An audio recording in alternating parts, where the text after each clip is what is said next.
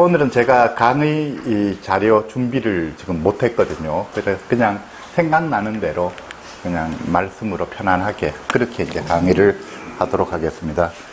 먼저 첫 번째 이제 조울증에 대한 이야기인데요. 조울증에 대해서 제가 잠깐만 소개를 해 드릴게요. 조울 들어야지 돼요. 하여튼 조울 강의 하고 있다가 제가 두 번째 시간에 조현 강의를 조금 그러면 다시 요약 겸 해 드릴게요. 자, 이제 이 인터넷에 들어가셔서 제가 이제 운영하고 있는 카페가 사라이 열쇠거든요. 그래서 사라이 열쇠 이렇게 쳐서 보시면 원래 이 사라이 열쇠라고 하는 게 이 프랑스 영화 제목이에요. 2011년에 나온. 그래서 요거에 대해서는 제가 전에 설명했었기 때문에 요 유대인 박해 사건을 다룬 영화인데 요거를 보고 제가 제가 당시에 1942년도 당시에 프랑스에서의 유대인들의 입장이나 현재 우리나라에서 정신장애인들의 입장이 같다. 정부로부터 외면당하고 있고 국민들로부터 외면당하고 있다. 이래가지고 이제 제가 이 카페 이름을 사라이 열쇠라고 정한 거죠. 그래서 한데 사이트에 보시면 사라이 열쇠 해놓고 조현, 조울, 우를 품다 있는 요, 요게 이제 제가 운영하고 있는 인터넷 사이트예요.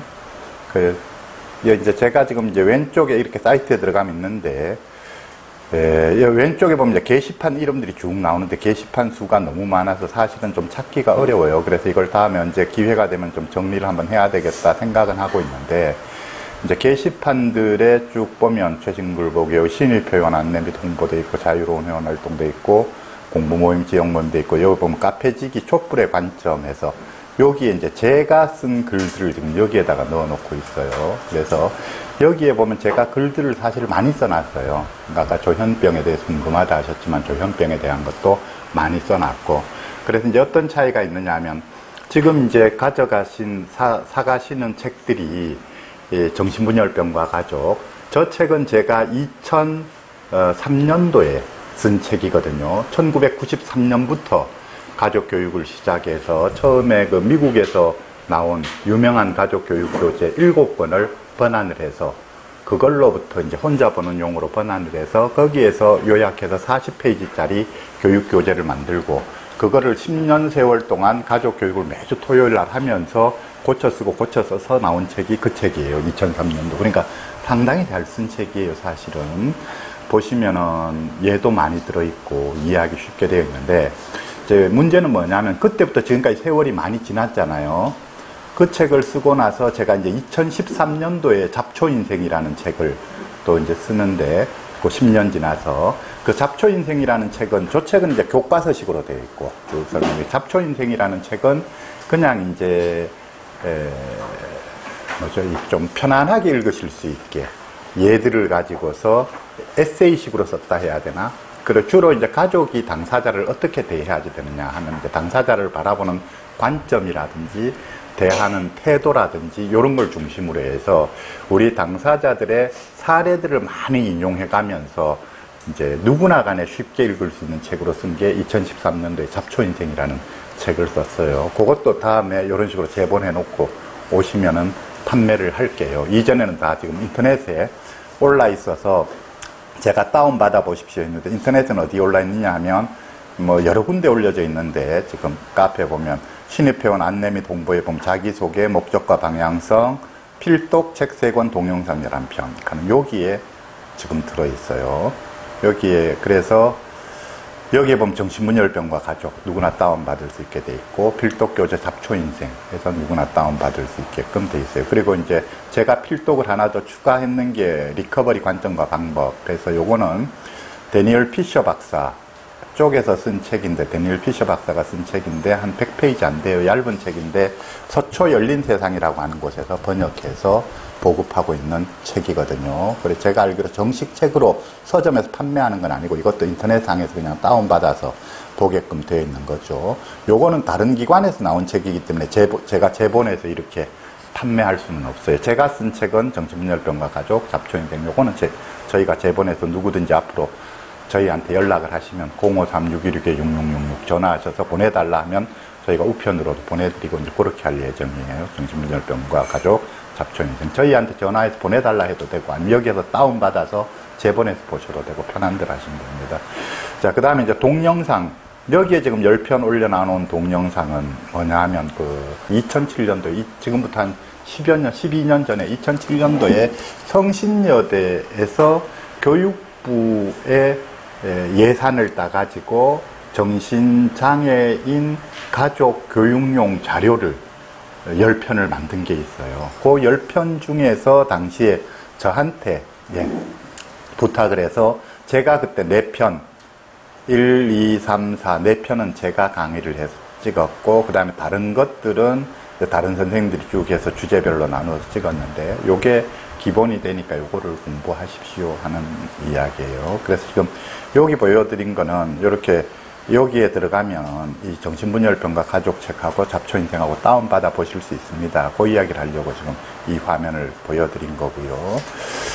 그 다음에 지금 이제 제가 이야기하려고 했던 거는 이제 그래서 이런 카페가 있는데 제가 여기에 이제 카페지기를 맡아서 제가 닉네임이 촛불이에요.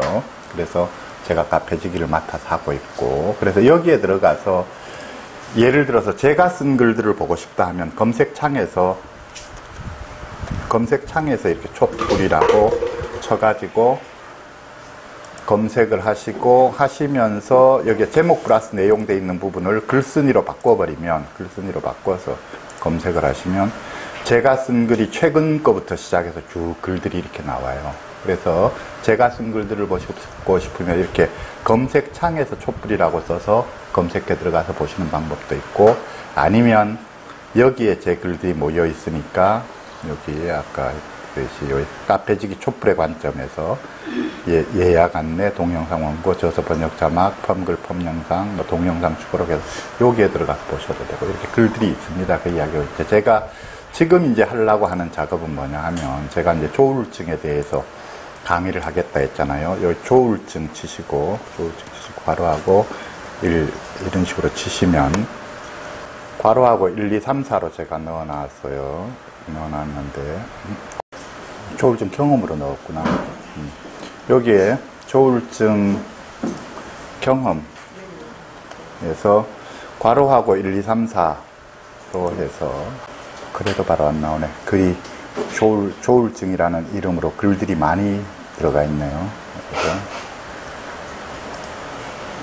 찾기가 조금 어렵게 되어 있네요. 3, 4, 2. 자, 요를 가서 보시면 이제 촛불 배정규 해놓고 조울증 경험 1, 촛불 배정규 조울증 경험 2, 촛불 배정규 조울증 경험 3, 촛불 배정규 조울증 경험 4 이렇게 해서 제 조울증 경험담을 여기에다가 올려놨어요. 저 같은 경우에는 조울증이 심하진 않은데 조울증이 있어요. 제가 20대 때 제가 제 스스로 조울증이 있다는 것을 알았고 그거는 이제 그때 제가 심리학 과로 학부 마치고 석사 마치고 서울대병원에서 3년 동안 서울대병원 정신과에서 제가 수련을 받을 때, 그때 이제 서울대병원에 3년 제가 정신과에 수련을 받을 때에 제 주 업무가 이제 환자들 심리검사, 여러 가지 심리검사를 해서 진단적인 소견을 내는 게 제 주 업무였거든요. 그게 뭐냐면 의사들이 이제 환자들 진료하면서 면담으로만 진단을 잡기도 하고 면담에 플러스해서 여러 가지 심리 검사도 내고 뭐 여러 가지 검사를 해서 종합해서 진단을 잡기도 하는데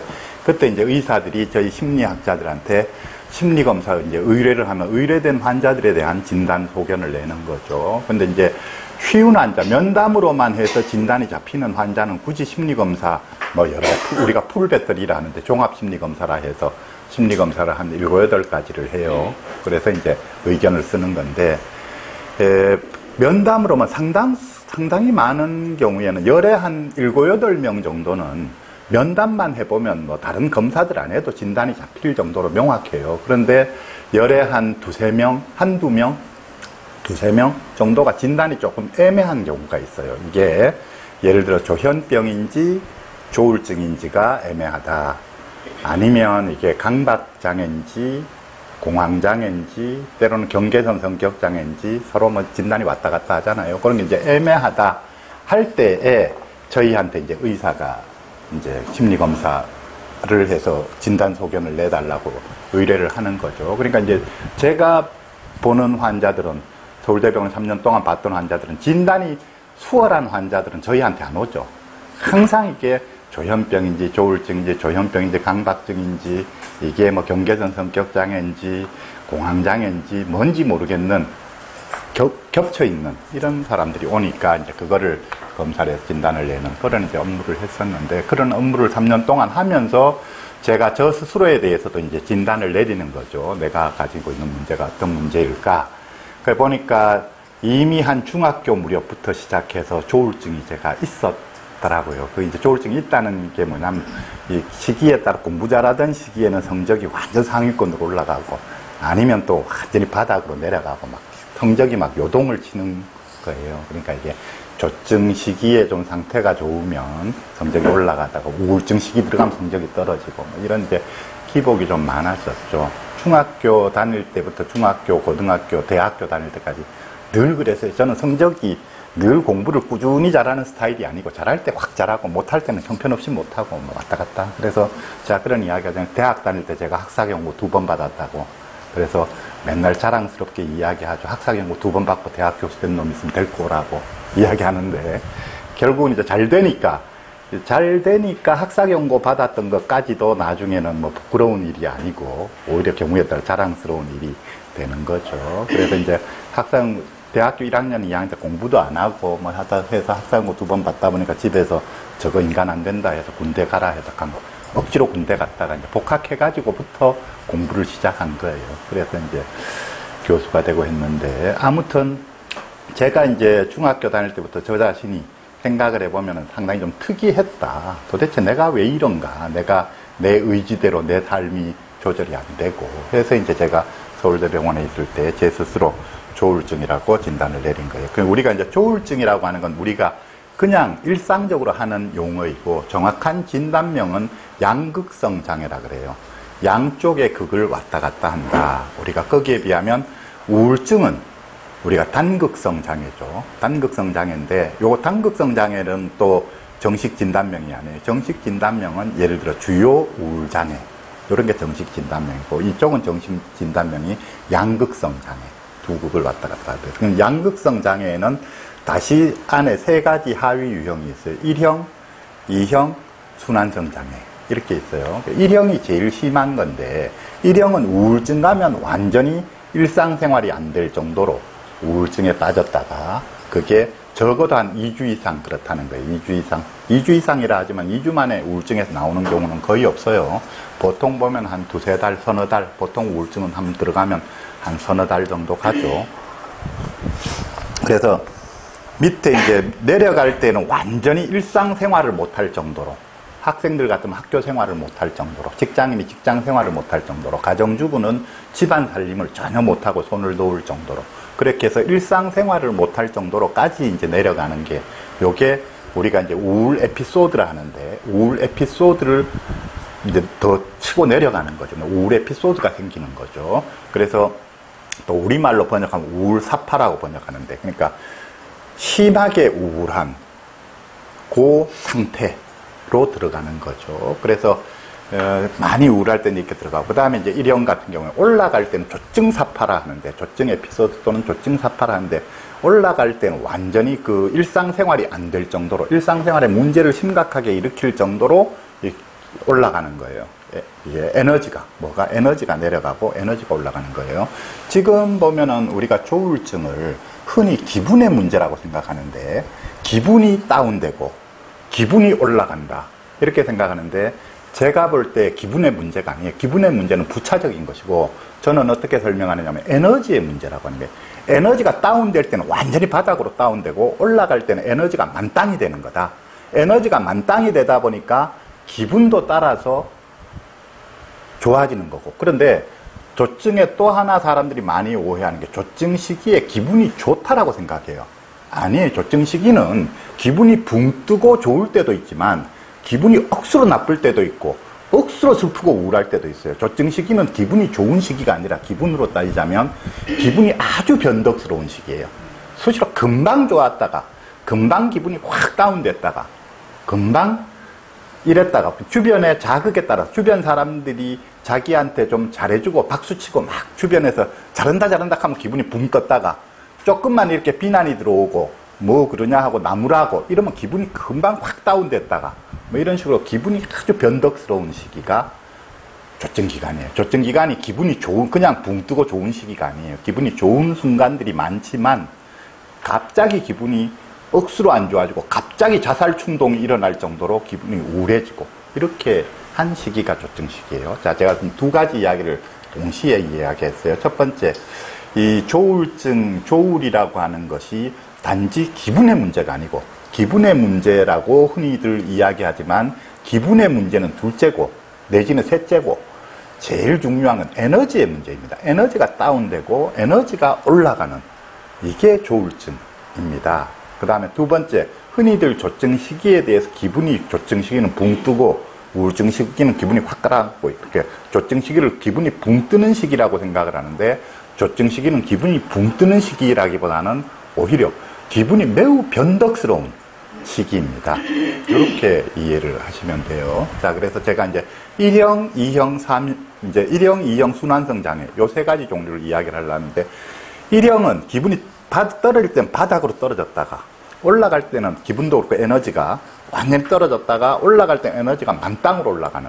그래서 이게 일상생활에 지장을 주는. 항상 떨어진다, 올라간다는 거 뭘 기준으로 이야기하느냐 하면 보통 사람들도 기분에 기복이 있어요. 기분이 좀, 기분도 그렇고 에너지도 그렇고 에너지가 떨어지는 시기가 있고 에너지가 올라가는 시기가 있고 하루 안에도 에너지가 떨어질 때가 있고 올라갈 때가 있고 그런데 이게 이제 날씨처럼 보통 사람들이 에너지가 오르락 내리락 하더라도 우리가 일정한 범위 안에서 오르락 내리락 한다는 거예요. 그런데 이 조울증의 경우에는 양극성 장애의 경우에는 보통 사람들이 경험하는 것보다 훨씬 심한 정도로 에너지가 떨어지고 훨씬 심한 정도로 올라간다는 거예요. 그래서 날씨로 비교하면 뭐냐면 보통 사람들이 사는 이 지역은 어, 우리 지금 온대 지방 우리나라처럼 추워도 뭐 영하 한 20도 정도까지 내려가고 더울 때는 영상 한 30도 잘 올라가야 한 40도까지 올라가는 추우면 2, 30도 더우면 한 3, 40도 그래도 살만한 정도인데 이게 말하자면 조울증 경우에는 내려가면 영하 한 50도, 60도 내려간다.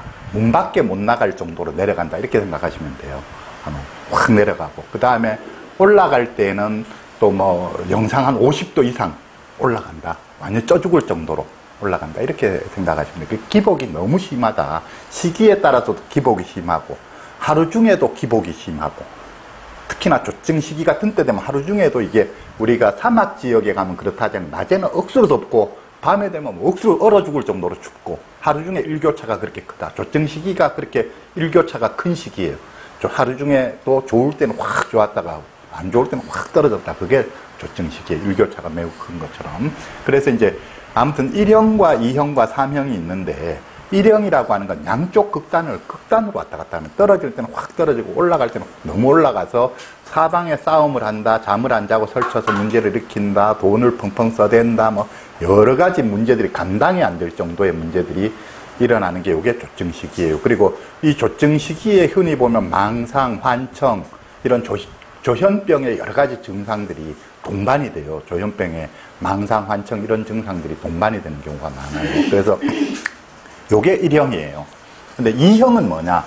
2형은 내려갈 때는 일상생활이 안 될 정도로 내려가는데 그래서 직장인들이 직장 생활이 안 돼서 직장 쫓겨날 위기에 처하는 내지는 뭐 휴직해야 될 정도의 상황에 처하는 이런 거죠.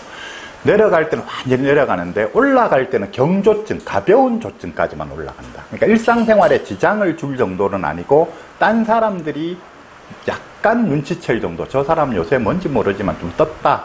조금 평소하고 좀 다르다.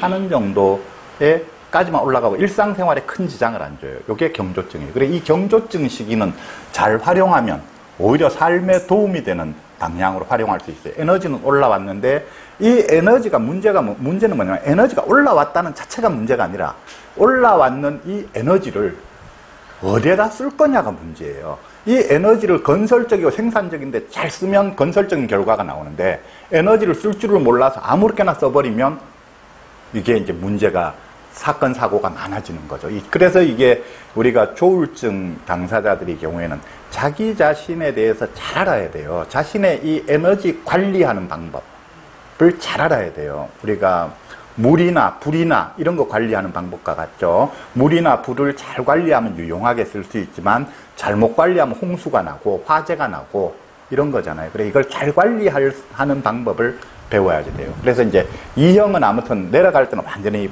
엄- 그 일상생활이 안 될 정도로 내려가지만 올라갈 때는 일상생활이 안 될 정도로까지 올라가는 건 아니다. 조절이 가능한 수준까지 올라간다. 요게 이형이에요.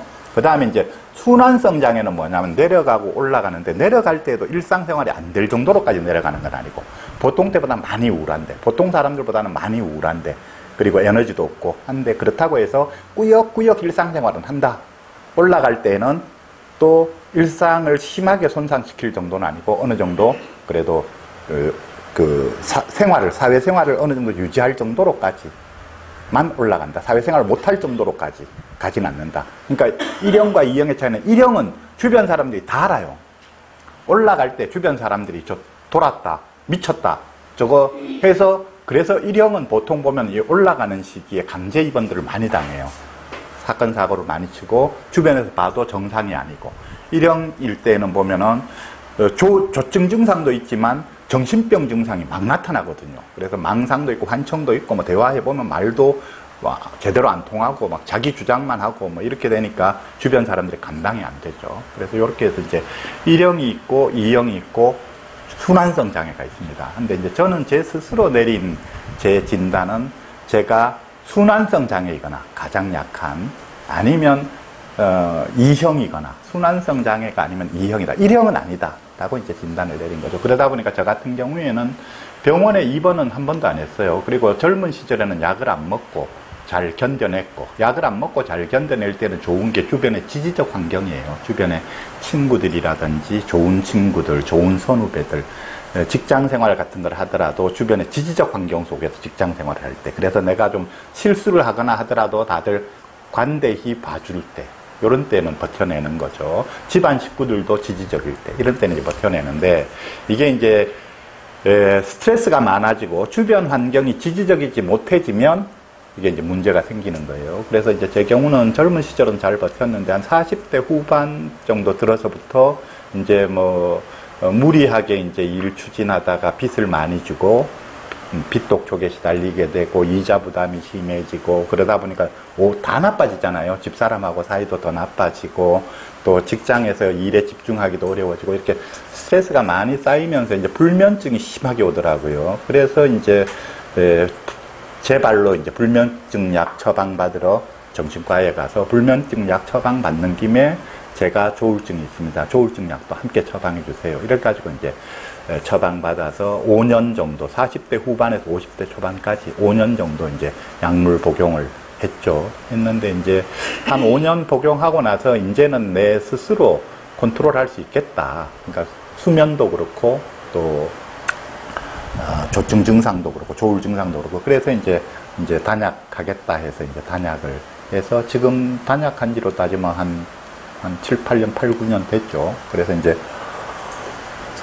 그렇게 되는데 여기에 이제 제 조증, 조울증 경험담을 쓴 거예요. 그래서 제가 이제 조울증인데 조현병 증상들을 가볍게는 다 경험해 봤어요. 그러니까 가볍, 가볍게는 환청, 망상, 뭐 등등 이제 저 같은 경우에 환청은 심한 환청들은 안 들었어요. 그런데 이제 한 20여 년 전에 대학 교수로 처음 있을 때에 주변에 선배들한테 찍혀가지고 억수로 고생하던 시기에 그때에 에, 연구실에 가 있으면 많이 들었던 게 에, 전화 벨 소리.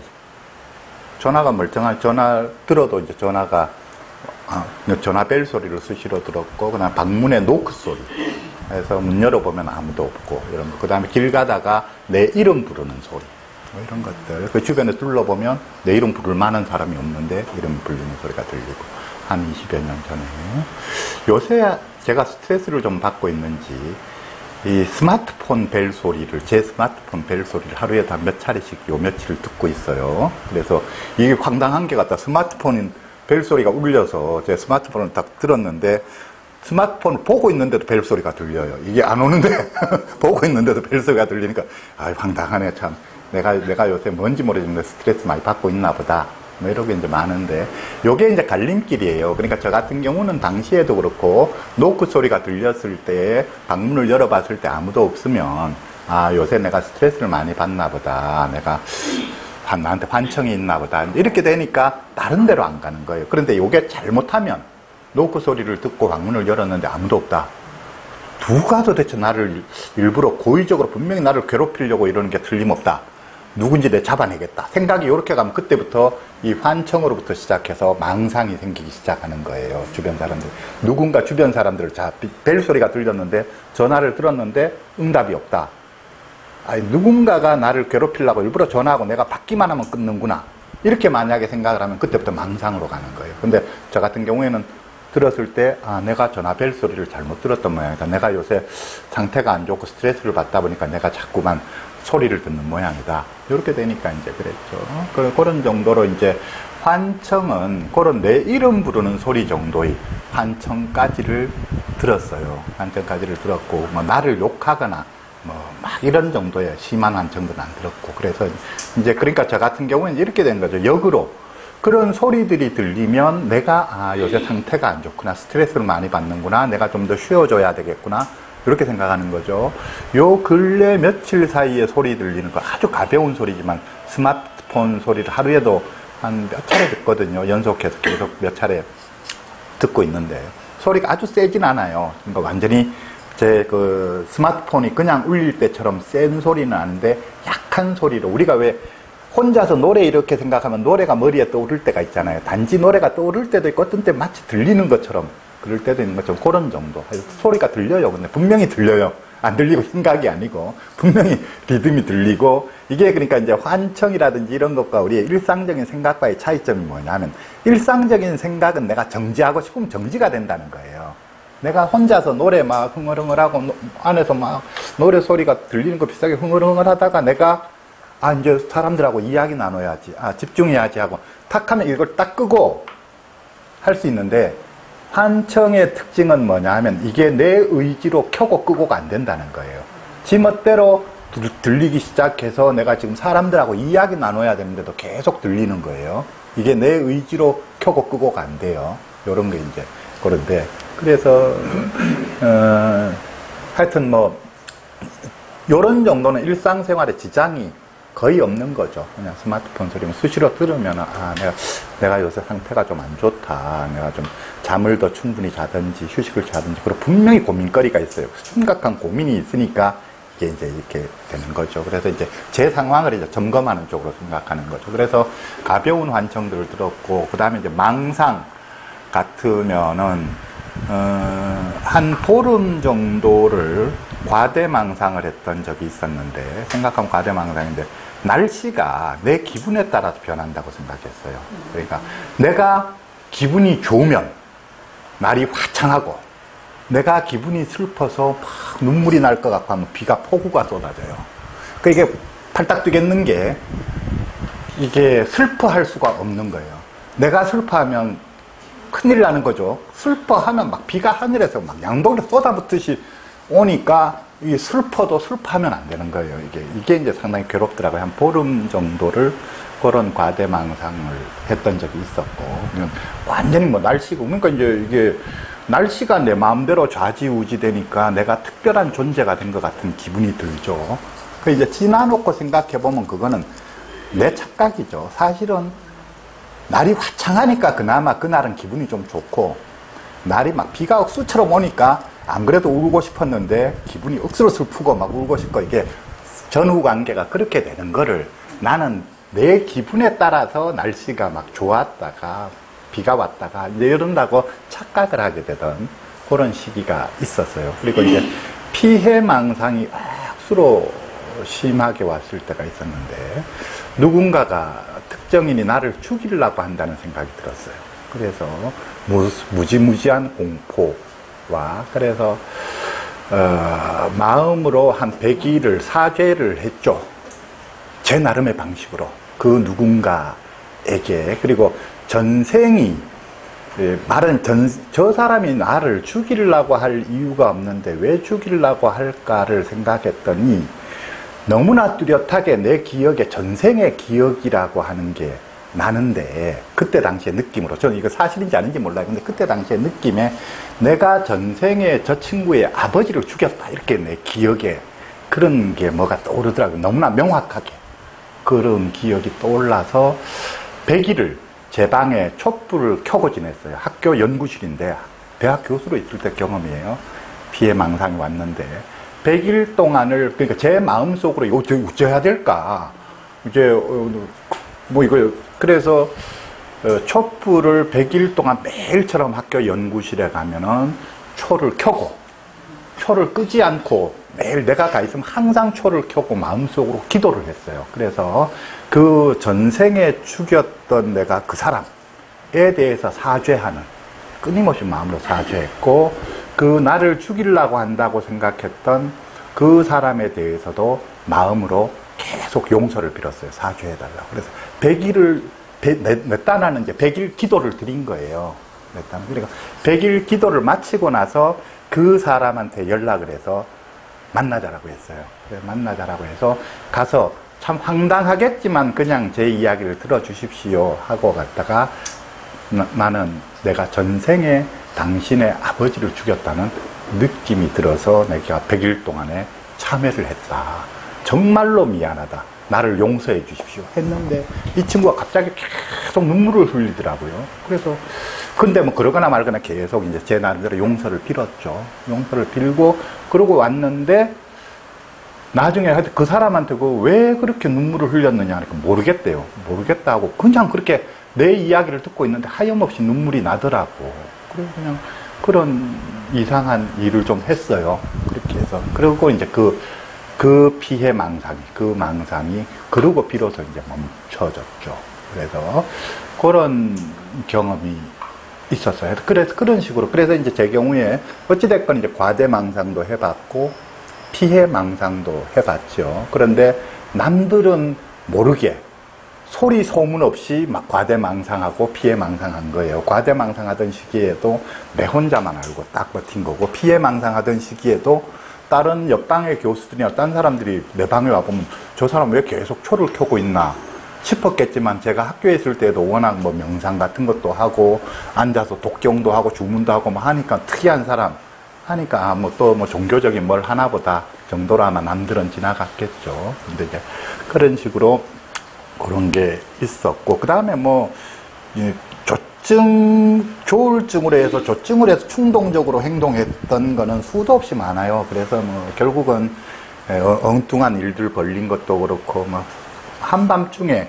한밤중에 새벽 2시, 3시에 막 좋은 생각이 나가지고 주변 사람들한테 전화해서 아, 정말 막 좋은 생각이 났는데 하고 뭐 등등 자는 사람 깨워놓고 사업 제안하고 뭐 그랬던 적도 많고 그 다음에 한밤중에 2시, 3시, 3시, 4시에 전화해가지고 10년 전에 내가 당신한테 뭐 이걸 잘못했는데 정말 미안하다 용서해달라 이래가지고 사람들 돌아버리게 만든 경우도 있었고 뭐 아무것도 아닌 말 한마디에 뭐 전화상에 대고 또는 막 소리를 고래고래 지르고 막 욕을 해대고 해서 좋았던 인간관계를 쪽낸 게 제가 제 조증 증상 때문에 좋았던 관계 를 쪽낸 게 10건은 넘는 것 같아요. 제가 볼 때. 이게 아무것도 아닌 일로 화를 극단적으로 심하게 낸다거나. 근데 이게 문제가 뭐냐면 그렇게 쪽난 관계가 회복이 안 되더라고요. 회복시킬 방법이 없어요. 상대방, 그러니까 상대방 입장에서 전화하다 말 아무렇지도 않게 전화했는데 갑자기 내가 막 소리를 고래고래 지르고 막 말 한마디에 그냥 화가 나가지고 막 해서 막뭐그 온갖 험악한 말을 하고 전화를 탁 끊었단 말이에요. 지나고 나서 미안하다. 그때 내가 상태가 안 좋았다. 정말 그렇게 해서 미안하다. 겉으로 표면적으로는 화해가 돼요. 알았다. 실제로는 화해가 안 돼요. 그래서 그렇게 해서 놓쳐버린 인간관계가 참 많다 하는 거죠. 조증 증상 때문에. 그 다음에 이제 우울증도 뭐 한번 우울증은 한 6개월씩 우울하면 뭐 거의 업무 철폐죠. 그냥 뭐 그러니까 제 경우에 대학 교수직에 있었기 때문에 조울증을 지닌 채로 어, 잘 그래도 유지가 된 거죠. 그러니까 예를 들어서 제가 이제 불면증이 있기 때문에 아침 오전 강의를 못 해요. 그 대학 교수할 때 내 강의는 다 오후에 넣었어요. 오전에 늦게 일어나서 하는데 지금도 상담센터를 하는데 지금도 기본적으로 상담센터에 상담 예약을 오후 2시부터 받고 있어요. 오전에 못 일어나요. 지금도. 그러니까 여전히 제 문제를 극복했는 게 아니라 문제를 지닌 채로 살고 있는 거죠. 그런데 문제를 지닌 채로 사는 방법을 터득한 거예요. 예, 보통 사람처럼 못 살아요.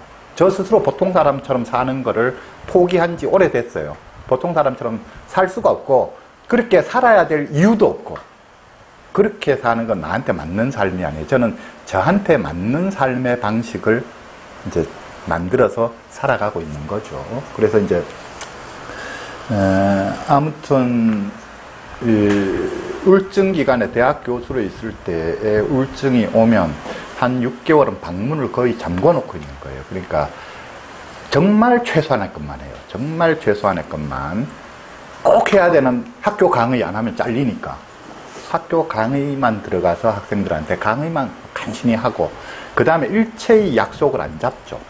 외부 약속을 제가 우울증 기간에 할 수 없어서 어떤 모임이라든지 나가야 된다고 나가봤더니 좋을 게 하나도 없더라고요. 나가고 나면 뒤에서 나중에 흉이 돼서 돌아와요. 그날 제가 바보처럼 가만히 있었던 모습들이나 이런 것들이 남들한테 흉이 돼서 돌아오더라고요. 그래서 제가 터득했는 게 우울 기간에는 절대로 밖에 나가면 안 된다. 남들 만나면 안 된다.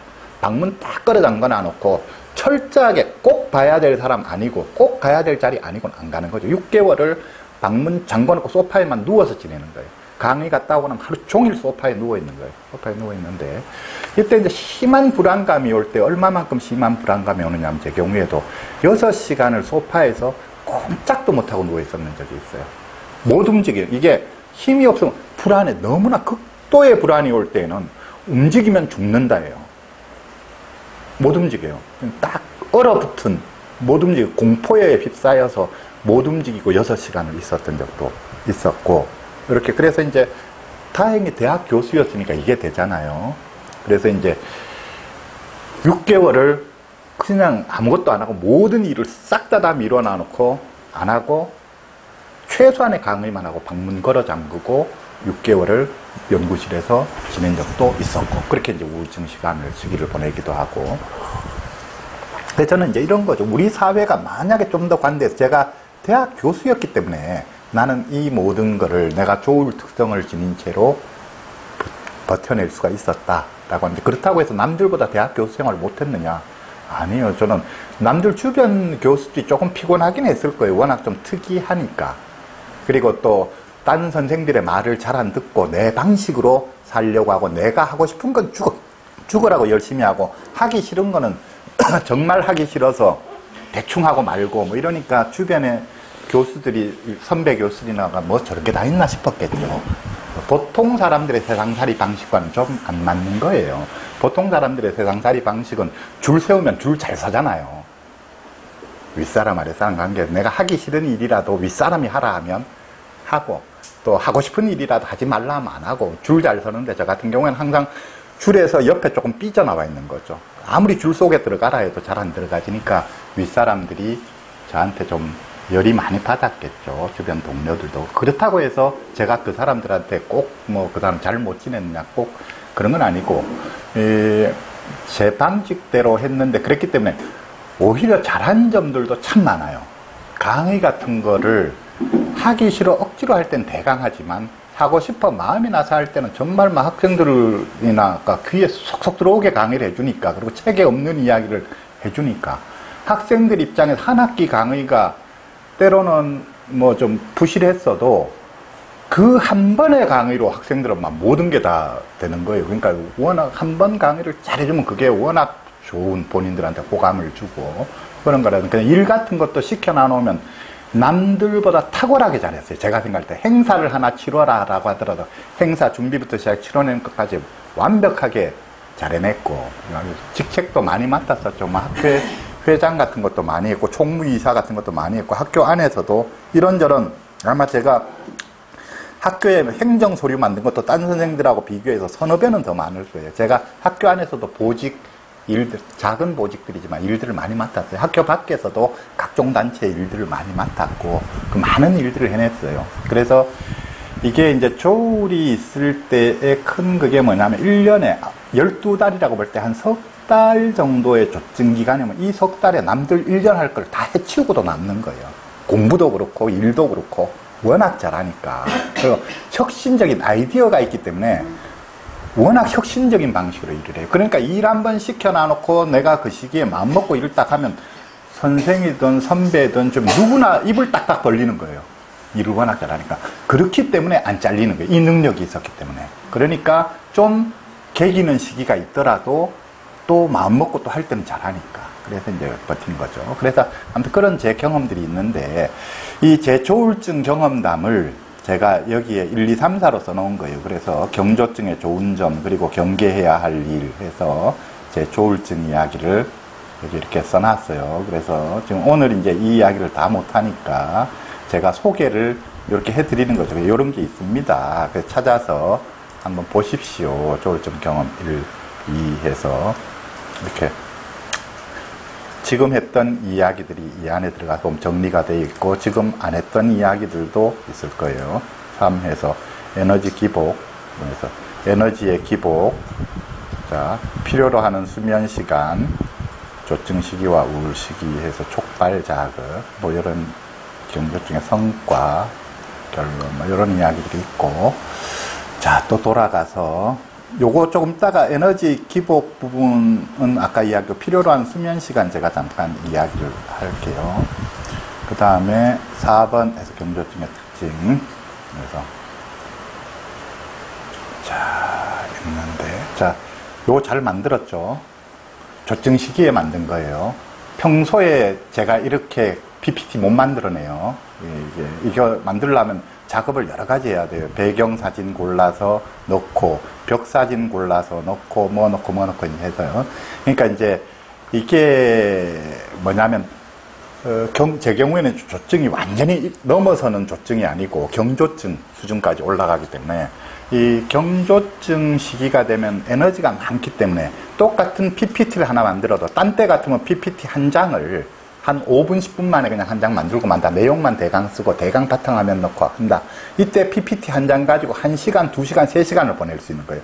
매우 지엽적인 것 가지고 글씨의 채 하나, 뭐 하나까지도 다 들여다보는 거예요. 그러니까 만들 때에 심혈을 기울여 만들고 점검에 점검에 점검을 하는 거예요. 그러니까 이게 이제 좋은 게. 그래서 제가 비교하려고 올려놔놓은 거예요. 요거 경조증 시기에 만들었어요. 요거는 평소에 만든 PPT예요. 이렇게. 요거 경조증 시기에 만든 거예요. 요거 평소에 만든 거고. 요 보세요. 그림 같은 거 골라놓고 색깔 뭐, 뭐, 부터가 이게 탁 보면 달라요. 이게.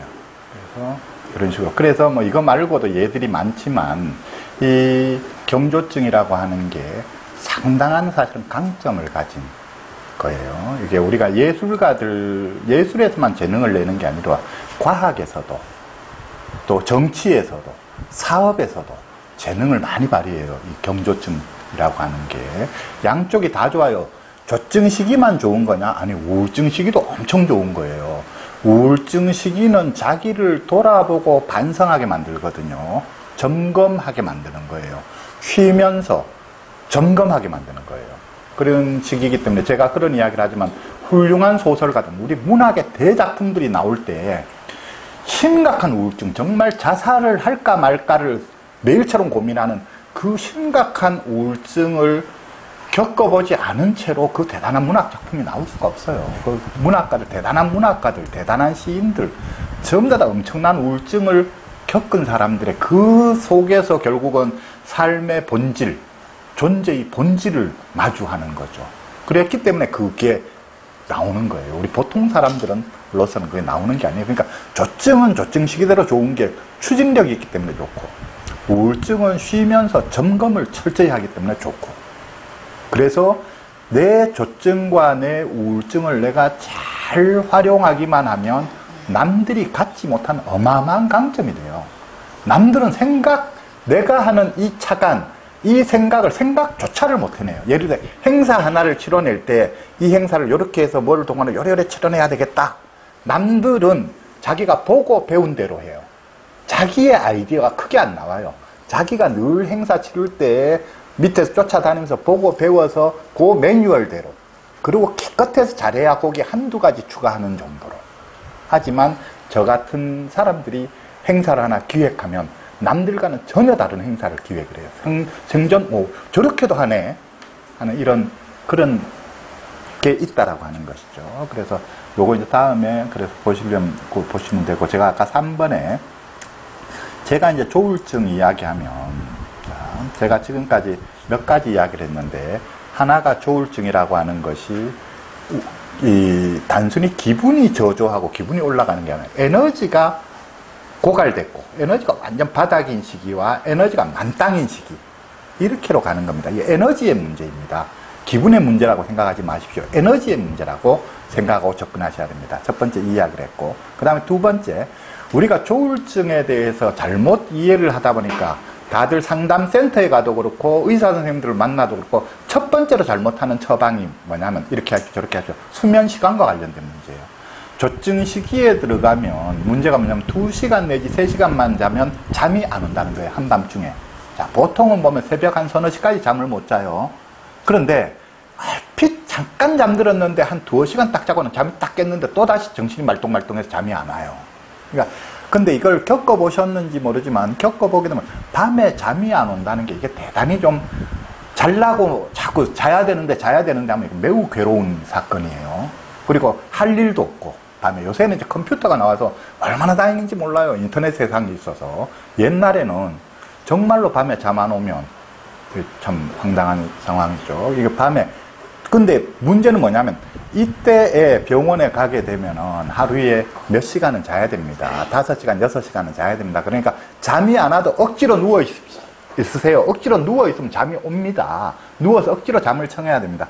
해보셨는지 모르겠지만 누워서 한 시간 있는데 잠이 안 와요. 그것도 몸도 움직이면 잠 안 된다 해서 몸 자꾸 움직여 뒤척이면 그것 때문에 잠 못 자니까 한 시간을 누워 있는데 잠이 안 오고 두 시간 누워 있어 잠이 안 오고 세 시간 누워 있는데 잠이 안 오고 말똥말똥하게 있어 보세요. 사람 거의 완전 그야말로 도는 거예요. 그래서 그게 아니고 지나고 보니까 제가 터득해 보니까 하루에 두 시간 잠오고 세 시간 잠올 때는 두 시간만 자면 충분하니까 두 시간만 자는 거예요. 그러고는 잠이 안 오고 세 시간 자면 그걸로 충분해. 남이 하루에 여덟 시간 잘 거난두 시간 만에 다 잔 거예요. 그랬으면 밤에 잠 안 오는 이 시간을 어떻게 잘 활용할 것이냐. 잘 활용할 것이냐로 가야 돼요. 그거를 잘못 활용하니까 어떤 일이 일어나느냐. 아까 제가 이야기했듯이 새벽 3시, 4시에 남한테 전화를 하는 거예요. 이래서 오만 자는 사람들 다 깨우고 아니면 집에서 보통 애들이 조울증 있는 애들 부모를 깨워요. 쫓아와서 갔다가 잠 안 오니까 내하고 같이 이야기하자 하고 그 막 옛날 10년, 20년 지난 이야기 다 털어놓는 거예요. 그때 저 깨워가지고. 근데 또 그때에 이야기 안 들어주면 이제 화내요. 내가 자식이 지금 이래 힘들어 하는 데 갔다가 부모가 잠이 오느냐 하고 막 이제 화내고. 그 이걸 어떻게 해야 되느냐. 결국은 관건은 뭐냐면 밤에 잠이 안 올 때, 2시간, 3시간만 자고 더 이상 잠이 안 올 때 이 시간을 어떻게 잘 활용할 것이냐인데 어떻게 남을 방해하지 않고 이 시간을 잘 보낼 것이냐. 혼자서 시간을 잘 활용하는 방법을 같이 의논을 해줘야 돼요. 그래서 그 시간에 인터넷을 한다거나. 근데 이게 또 문제가 뭐냐면 이 시간에 인터넷 흔히 당장 하고 재미있기론 게임하는 게 재밌거든요. 아니면 바둑 두는 거, 저 같은 경우는. 이게 종류만 다를 뿐이에요. 저도 바둑 두느라고 아침 11시까지도 떠보고 그랬어요. 온, 온밤 꼬박 세우고 이게 이 시기에 바둑을 뜨면 또 안 되는 이유가 뭐냐면 바둑을 뜨면 이게 결정적인 실수들을 잘해요. 자꾸 지거든요. 열받아요. 그러면 원래 밤에 잠 안 온다고 한 2시나 1시나 2시 돼가지고 한 한두 판만 좀 하고 자야지 했다가 지니까 열받아서 아침 11시, 12시까지 다음날 스케줄 그냥 다 취소하고 바둑국 뜨는 거예요. 이런 상황이 벌어져요. 그래서 흔히 애들이 게임을 하는 거예요. 그래서 게임을 하는, 게임하는 거, 그 다음 야동 보는 거, 잠시 한두 편 봐야지 했다가는 막 그걸로 다 날밤을 보내는 거예요. 그래서 그게 아니고, 이 조울증 시기가 되게 되면은 밤에 잠이 안 오는데 단순히 그냥 잠이 안 오는 수준이 아니라 사실은 생각이 너무 많이 나요. 좋은 생각이. 옛날 지나간 생각이 아니면 사업 구상이 아니면 뭐가 좋은 생각이 너무나 많이 나는데 자, 그러니까 보세요. 제, 제 같은 경우에 바둑을 떴던 이유. 젊은 애들이 게임을 하는 이유. 그리고 야동을 보는 이유가 이 생각이 너무 많이 나면 이것도 괴롭거든요. 이 생각을 멈췄으면 좋겠는데 좀 편안했으면 좋겠는데 하니까 당장 이 게임을 하면은 야동을 보면 이 생각을 안 해도 되니까 편하거든요. 그래서 요게 당장 쉽기로 이제 이렇게 들어가게 되는데 제가 해보니까 결국 그 방법들은 다 별 소용이 없더라고요. 저도 여러 가지 해봤는데 에, 바둑 두는 것도 안 되고 테레비를 보면 테레비를 밤새도록 봐요. 아침에 6시, 7시까지 봐요. 그래도 잠이 안 와요. 다행히 테레비 틀어놓고 얼핏 잠드는 때가 있기도 있지만 하여튼 이래 그래서 이 불면증 하여튼 두세 시간 자고 잠이 안 온다 아니면 잠이 안 오다가 나중에 잠들어서 간신히 몇 시간 잔다 이런 거 어떻게 이 자 그랬을 때 관건이 뭐냐면 어떻게 여하이 이밤 시간에 잠 안 오는 시간을 어떻게 보낼 거냐? 요게 관건이라는 거예요. 이제 그거를 연구를 해야 돼요. 조금 쉬었다 할게요. 한 10분 조금만 쉬었다 할게요. 한 10분 쉬었다 할게요. 어, 설명하다 말고 한 분 하나 마무리를 안 했던 게 제 책 썼던 이야기. 그러니까 2003년도에 정, 정신분열병과 가, 가족이라는 책을 썼고 10년 지나서 2013년도에 잡초 인생이라는 책을 썼거든요. 그런데 문제는 뭐냐면 지금 와서의 제 생각이 그때하고 이제 조금 달라졌다는 거예요.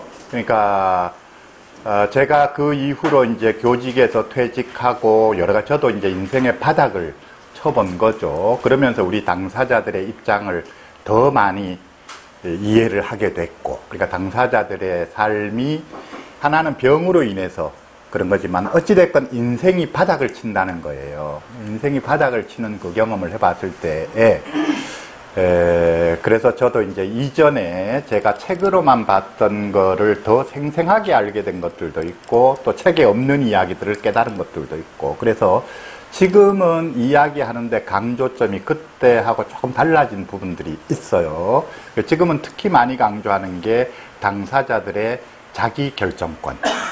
자기 의사를 존중해줘라. 물론 이전에도 그런 이야기는 했지만 지금만큼 강력하게 이야기하진 않았는데 자기 결정권이라고 하는 게 매우 중요합니다. 그 이야기를 강조하고 있고 그 다음에 이제 이런 질병에 대처하는 방법론에서도 어, 그 무렵에 아마 2013년도 책에만 보더라도 옛날식으로 쓰여 있어요. 지금 제 하는 이야기보다 지금은 제가 조증 은잠 조금만 자면 됩니다. 나머지 시간 잘 활용하면 됩니다. 우울증은 잠을 충분히 자는 게 제일 중요합니다. 하루 20시간 자도 됩니다. 그 오히려 충분히 자면 빨리 회복됩니다. 이야기를 하는데 저 책에만 해도 흔히 우리가 상담자들이나 치료자들이 말하던 대로 잠은 대여섯 시간 적어도 한 하루 한 8시간씩 자야 된다. 7, 8시간. 그러면 잠 안 올 때 어떻게 잠을 잘 거냐. 잠이 너무 많이 올 때 어떻게 하면 덜 잘 거냐. 뭐 이런 거 가지고 써놨거든요. 그런 부분들이 지금하고 안 맞다는 거예요. 또, 뭐, 잠 문제도 그렇고, 어, 다른 하여튼 여러 가지 면에서 지금 보면은 고쳤어야 되는 부분들이 좀 있어요. 좀 있으니까, 이제 저 책 읽으시면서 인터넷에 제 올려져 있는 촛불 배정규, 촛불 동영상을 같이 보시고 하면서 두 가지 이야기가 서로 다르다 하면 지금 하는 이야기를 받아들이셔야지 돼요. 그래서 그때만 하더라도 제가 아직 당사자들의 경험을 철저하게 지금만큼 모르고 책을 많이 보고 책에서 권하는 대로 많이 했거든요. 그래서 우리가 책이 보면은 제가 전에 늘 이야기하지만 전문가들이 수박의 겉과 속이라 하잖아요. 수박의 겉모습이 있고 속이 있는데 겉은 파랗지만 속은 빨갛습니다. 이 수박의 속이라고 하는 것이 당사자들의 경험, 당사자들의 내면 이런 거거든요. 사실은 이걸 잘 알아야 되는데 우리가 전문가들이 당사자들을 정말로 철저하게 면담하고 귀 기울이고 하기 전에는 이 속을 잘 몰라요. 전문가들도 겉모습만 보고. 그래서 책에 보면 겉모습이 많이 쓰여 있어요. 그러니까 전문가들은 겉모습을 써놓은 책을 읽고는 그게 다이라고 생각하고 당사자들의 말을 잘 들어볼 생각 안 하고 전문가들이 자꾸 가르치려 하는 이런 경우들이 많은데 이제 뭐 저부터도 그래야 되겠지만 끊임없이 지금도 끊임없이 당사자들의 이야기를 듣고 배워야 돼요. 제가 배워가면서 이해하고 가르치고 해야 되는 거지. 그 답은 항상 당사자들이 그 경험 속에 있다. 당사자들의 속마음을 정확하게 잘 이해하는 게 이게 제일 중요하다. 이제 이렇게 생각을 하고 있죠. 그래서 책 부분 그렇고 그 다음에 아까 중간에 이제 쉬는 시간에 질문 나왔던 게 제가 양극성 장애 1형, 양극성 장애 2형, 순환성 장애 이런 이야기를 하니까 처음에 양극성 장애 1형이었다가 나중에 이제 병이 좀 낫고 나면 혹시 2형이 되고 또 더 낫고 나면 순환성 장애가 되고 이런 거냐 하고 물어보신 오신 분이 계셨는데 그건 아닙니다. 이것은 그러니까 가장 심하게 드러날 때가 어땠느냐가 기준이 되는 거예요. 그래서 한 번 양극성 장애 1형이었다. 진단이 나면 단 20, 20살에 한 번 이 대단한 난리를 한 번 치고 그 다음에는 한 평생을 조용하게 큰 문제 없이 살아도 그때 양극성 장애 1형 진단을 받았던 거예요. 그러니까 나중에 돼서 가볍게 2형이나 순환성 장도, 장애 정도로만 문제를 보이고 넘어가더라도 이 사람은 양극성 장애 1형인데 지금 와서는 관리를 잘해서 심하게 이렇게까지 안 드러나고 관리를 잘해서 옛날보다는 조금 가볍게 넘어간다. 이렇게 이제 봐야 되거든요. 우리가 왕왕 이제 조현병의 완치가 되느냐, 내지는 뭐 조현병이 정말 조현병을 지닌 채로 잘 살아갈 수 있느냐, 이런데 조현병을 한 1, 2년, 한 심하게 어떤 조현병 문제를 보였다가 나중에 잘 살아가는 사람들이 있어요. 많이들 있는데, 이럴 때 의사들이 보면은 입장을 바꾸는 경우가 많아요. 그 사람 그때 당시에 그 조현병 아니었을 거다. 아마 단기 정신병이었던지 했는데 그때 진단을 잘못 내렸을 거다. 그 조현병이었다면 지금 이렇게 멀쩡하게 잘 살아갈 리가 없다.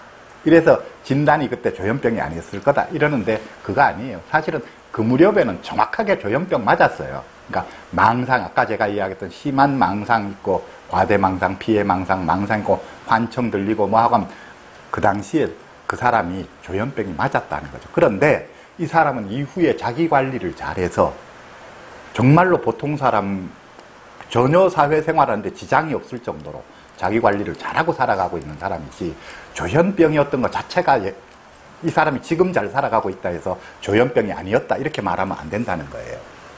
그런 이제 이치예요. 그러니까 우리가 이제 이 병이 있다라고 하는 거는 우리가 뭐 몸으로 따지자면 그럴 수 있잖아요. 몸으로 따지자면 멀쩡하던 사람도 한 번씩 심하게 알아 누울 수도 있잖아요. 심하게 알아 누울 수도 있었지만 과거에 20대 때 심하게 알아 누웠던 사람이 이후에 자기가 운동도 열심히 하고 여러 가지 자기 몸 관리를 잘해서 지금은 누구보다 몸이 남보다 더 건강하고 튼튼한 사람이 되어 있을 수 있거든요.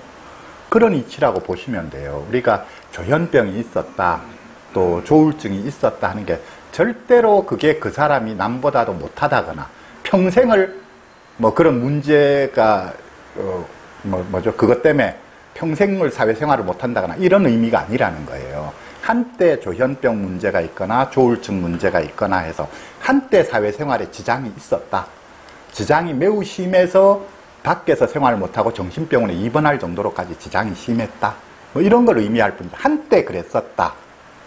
를 이야기하는 거지. 그것이 지금의 그 사람을 규정하는 것은 아니라고 하는 거죠.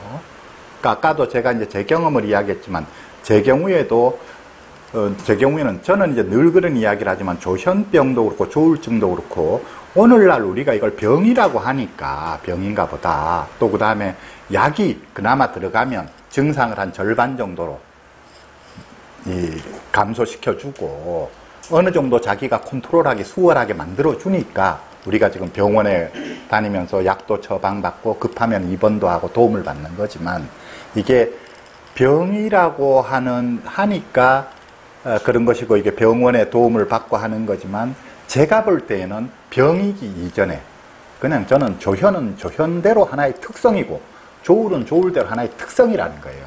특성이라고 하는 건 뭐냐면 우리가 외향적인 사람도 있고 내성적인 사람도 있잖아요. 자기가 가지고 태어난 어떤 기질 같은 거예요. 그래서 조현 기질을 가진 사람들은 생각이 엄청나게 많고 생각으로 세상을 이해하려고 하는 경향을 가지고 있는 거죠. 생각이 엄청나게 많고 그래서 자기가 쉽게 납득이 되지 않는 일이 있으면 그거를 붙들고 계속해서 생각하는 경향이 있고 그러다가 보니까 한 군데 그걸 우리가 이제 집착하는 거죠. 생각으로 집착을 하는 것이고 어, 또 그렇게 되다가 보니까 때때로 생각이 오류에 빠지기도 하고 하는 이런 어떤 생각을 많이 하는 우리가 사람들에 따라서는 그렇잖아요. 몸이 좋아서 운동하는 거를 매우 즐겨하는 사람도 있고 수시로 운동하고 하는 사람도 있고 또 음악 수시로 음악 듣고 사는 사람도 있고 뭐 등등 이런 듯이 이 사람들은 기본적으로 생각이 취미 생활이다. 라고 생각하시면 돼요. 생각으로 세상을 이해하려고 생각을 하는 게 한편으로는 본인한테 즐겁기 때문에 생각을 하는 거예요. 생각을 해서 이해하는 게. 그런데 문제는 이 생각이 항상 그렇지만 내가 컨트롤할 수 있으면 괴롭지 않은데. 그러니까 내가 혼자 골몰하게 생각을 하다가 아 이제 사람들하고 내 대화를 나눠야 된다. 생각을 제껴놓고 대화를 할 수 있으면 되는데 대화를 해야 되는 장면에까지 이 생각이 끊임없이 일어난다. 그 사람이 괴롭죠. 밤에 잠을 자야 되는데 계속 생각이 끊임없이 일어나서 잠을 못 잔다. 괴로운 거죠. 이렇게 이제 자기의 컨트롤을 벗어나는 수준까지 넘어가면 이게 이제 괴로운 거예요. 이게 괴로운 건데 어찌됐건 우리가 이해해야 될 거는 그 사람들은 기본적으로 생각이 많은 사람들이다. 생각이 많다는 것 자체는 그 자체로 잘못된 게 아니에요.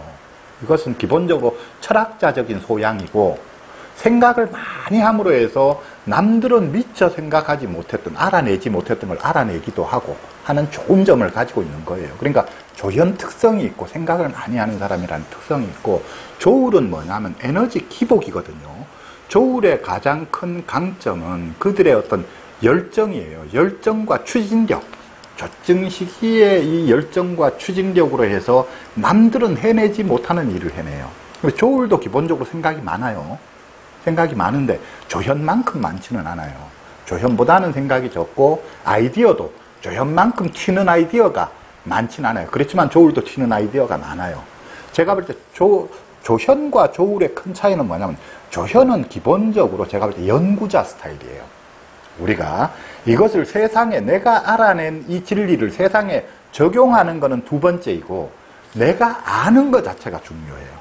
내가 어떤 궁금증을 가지고 물고 늘어지고 아는 것 자체가 중요한 사람들이고 조울은 거기에 비하면은 아는 것도 중요하지만 더 중요한 게 내가 알아낸 것을 세상에서 실현하는 게 더 중요한 사람들이에요. 그러니까 내가 하는 내 사업에 내가 학생들을 가르치는 일에 또 내가 뭐를 하는 이렇게 해서 실제로 구체적으로 세상에서 일을 벌려요. 나의 이상적인 조, 조, 조현도 이상주의자고 조울도 이상주의자인데 내가 확신한 나의 이상을 이 세상에서 실현하기 위해서 노력하는 사람들이 조울이에요. 조울은. 그리고 그런 에너지가 있고.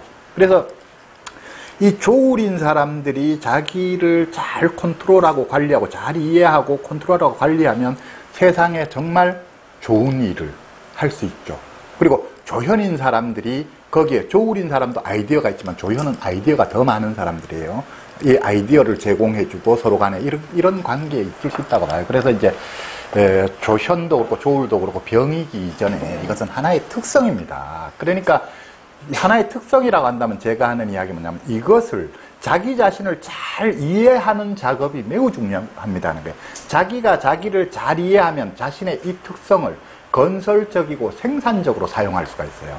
그런데 자기가 자기를 이해하지 못하면 이 좋은 특성을 가지고 이걸 엉뚱하게 사용을 해서 사건, 사고를 일으킨다거나 아니면 이거를 부정적으로 생각해서 안 좋은 특질이라고 생각해서 그래서 자기 스스로 자기를 비하하고 낮춰보고 정말 고장난 태풍처럼 생각하고 이렇게 이제 될 수가 있는 거죠. 그래서 뭐 우리가 다른 특성이라고 하면 제가 오른손잡이, 왼손잡이 비유도 하지만 보통 사람들이 오른손잡이라면 우리 조현조 우리 사람들은 왼손잡이와 마찬가지입니다. 왼손잡이를 오른손잡이로 바꾸, 바꿔주려 하지 말고 이 왼손잡이의 특성을 잘 활용해서 살아갈 수 있는 방법을 하면 됩니다. 뭐 이 이야기고 우리 흔히 이야기하듯이 외눈박이 세상에 두눈박이 일 수도 있다는 거예요. 우리 보통 사람들이 정답이 될 수가 없어요. 그런데 우리는 흔히 보면 보통 사람을 정답이라고 가정하는 경향이 있어요. 그러니까 남들처럼 살아야 된다. 보통 사람들을 정답이라고 가정해놓고 남들하고 다르면 잘못됐다라고 하고 남들하고 비슷하게 만들려고 하면서 이거를 치료라고 하는 수가 있다는 거죠. 그런 게 아니라는 거예요. 그래서 지금 이제 잠 문제 이야기하다 말았지만 잠 문제만 하더라도 보통 사람들이 예를 들어서 밤에 10시나 11시쯤 자서 또는 뭐 9시, 10시에 자서 아침에 한 4시, 5시, 6시, 내지는 7시 이렇게 밤에 자고 아침에 깨 있다라고 해서 반드시 모든 사람이 그래야 되느냐? 보통 사람이 정답이 될 거냐? 저는 그렇다고 생각 안 하거든요. 우리가 사람들이 자신의 필요와 용도에 따라서 밤에 자고 낮에 움직여야 되는 사람도 있고 어떤 사람은 거꾸로 된 사람도 당연히 있을 수 있겠죠.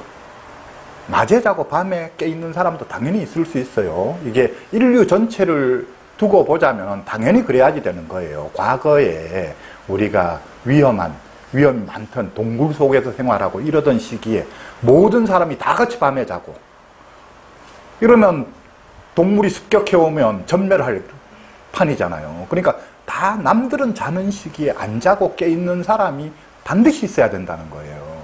그래야 그래서 밤에 깨 있다가 낮에 돼서 남들 사냥하러 다 나가고 나면 지는 자고 이런 사람들이 있어야지만 인류가 생존할 수 있는 거죠. 그러니까 인류에는 제가 볼 때 이렇게 다양한 사람들을 하늘이 섞어 놓은 거지. 일률적으로 어떤 패턴을 정해놔 놓고 이렇게 살아야 돼. 그게 정답이야. 이런 건 아니라는 거예요. 그래서, 그런데, 그래서 이제 기존의 우리의 치료법의 큰 문제가 뭐냐면 조현도 그렇고 조울도 그렇고 그걸 일단 잘못됐다고. 왜? 보통 사람하고 다르니까 잘못된 거라. 고 하고 그러니까 보통 사람처럼 살아야 된다라고 강요를 하니까 여기서부터 괴로움이 생기는 거예요. 이제 억지로 하려면 어느 정도 억지로는 하겠죠. 그런데 그게 원활하지 않기 때문에 늘 이게 바꾸려면 늘 불편하고 어렵고 그리고 제가 하는 이야기야. 바꾼들 보통 사람들 안에서 앞서갈 수 있느냐는 거예요.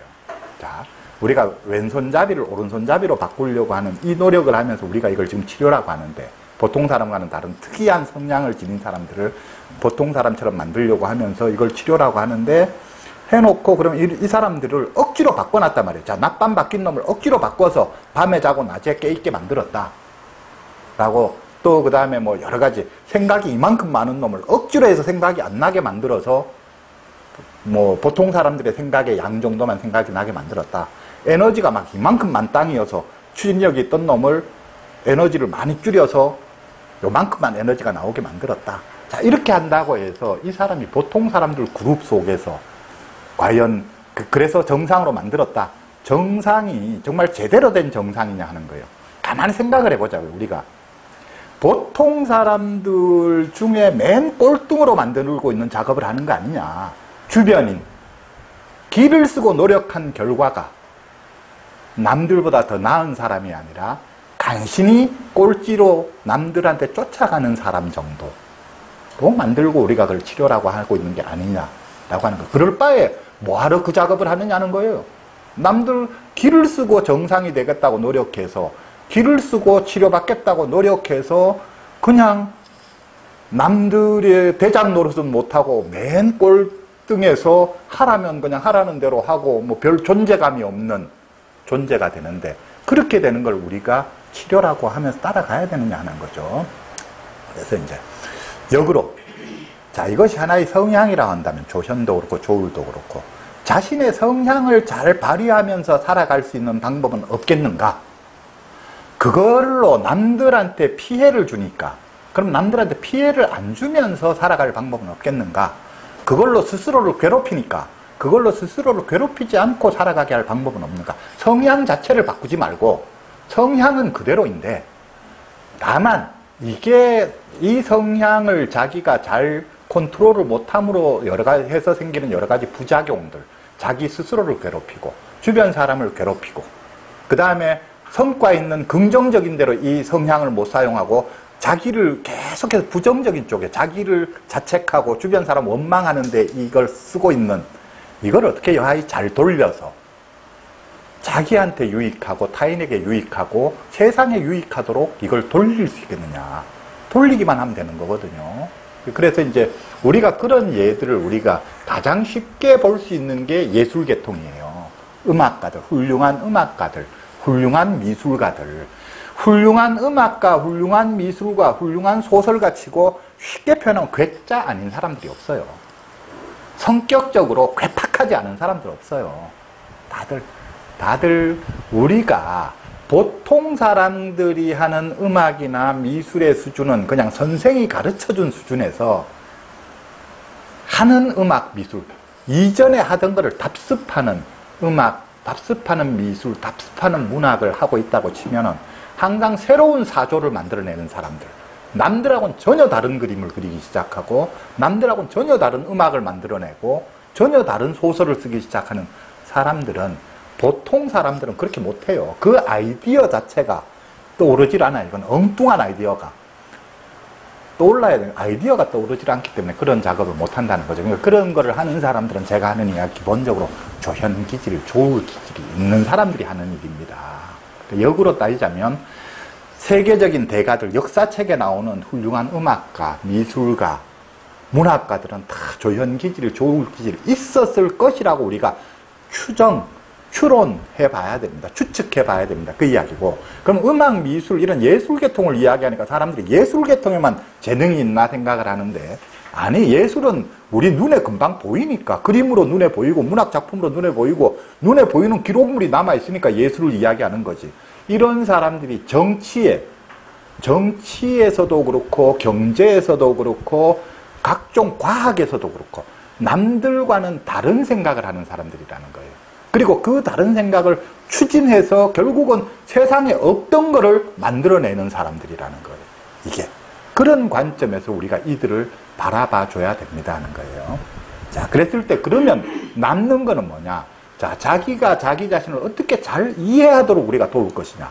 자신의 특성을, 자기가 남들과 어떻게 다른지를 어떻게 정확하게 관찰하고 정확하게 이해하게 할 것이냐? 그 다음에 그랬을 때에 스스로가 자신에게 있는 여러 특성들을 어떻게 잘 제어하게, 컨트롤하게끔 우리가 만들어 줄 것이냐. 그 이야기예요. 그러니까 조, 조, 조현병도 그렇고 조울증도 그렇고 우울증도 그렇고 없애는 게 중요한 게 아니라 그 특성을 어떻게 잘 제어할 것이냐.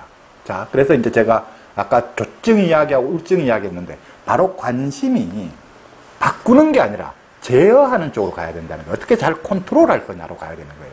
잘 이해하고. 그래서 제가 이제 이 조증 문제를 관리하려고 하면 적어도 한 다섯 가지 본인이 잘 알아야 되는 영역들이 있어요. 첫 번째가 수면 문제. 잠. 잠자는 거.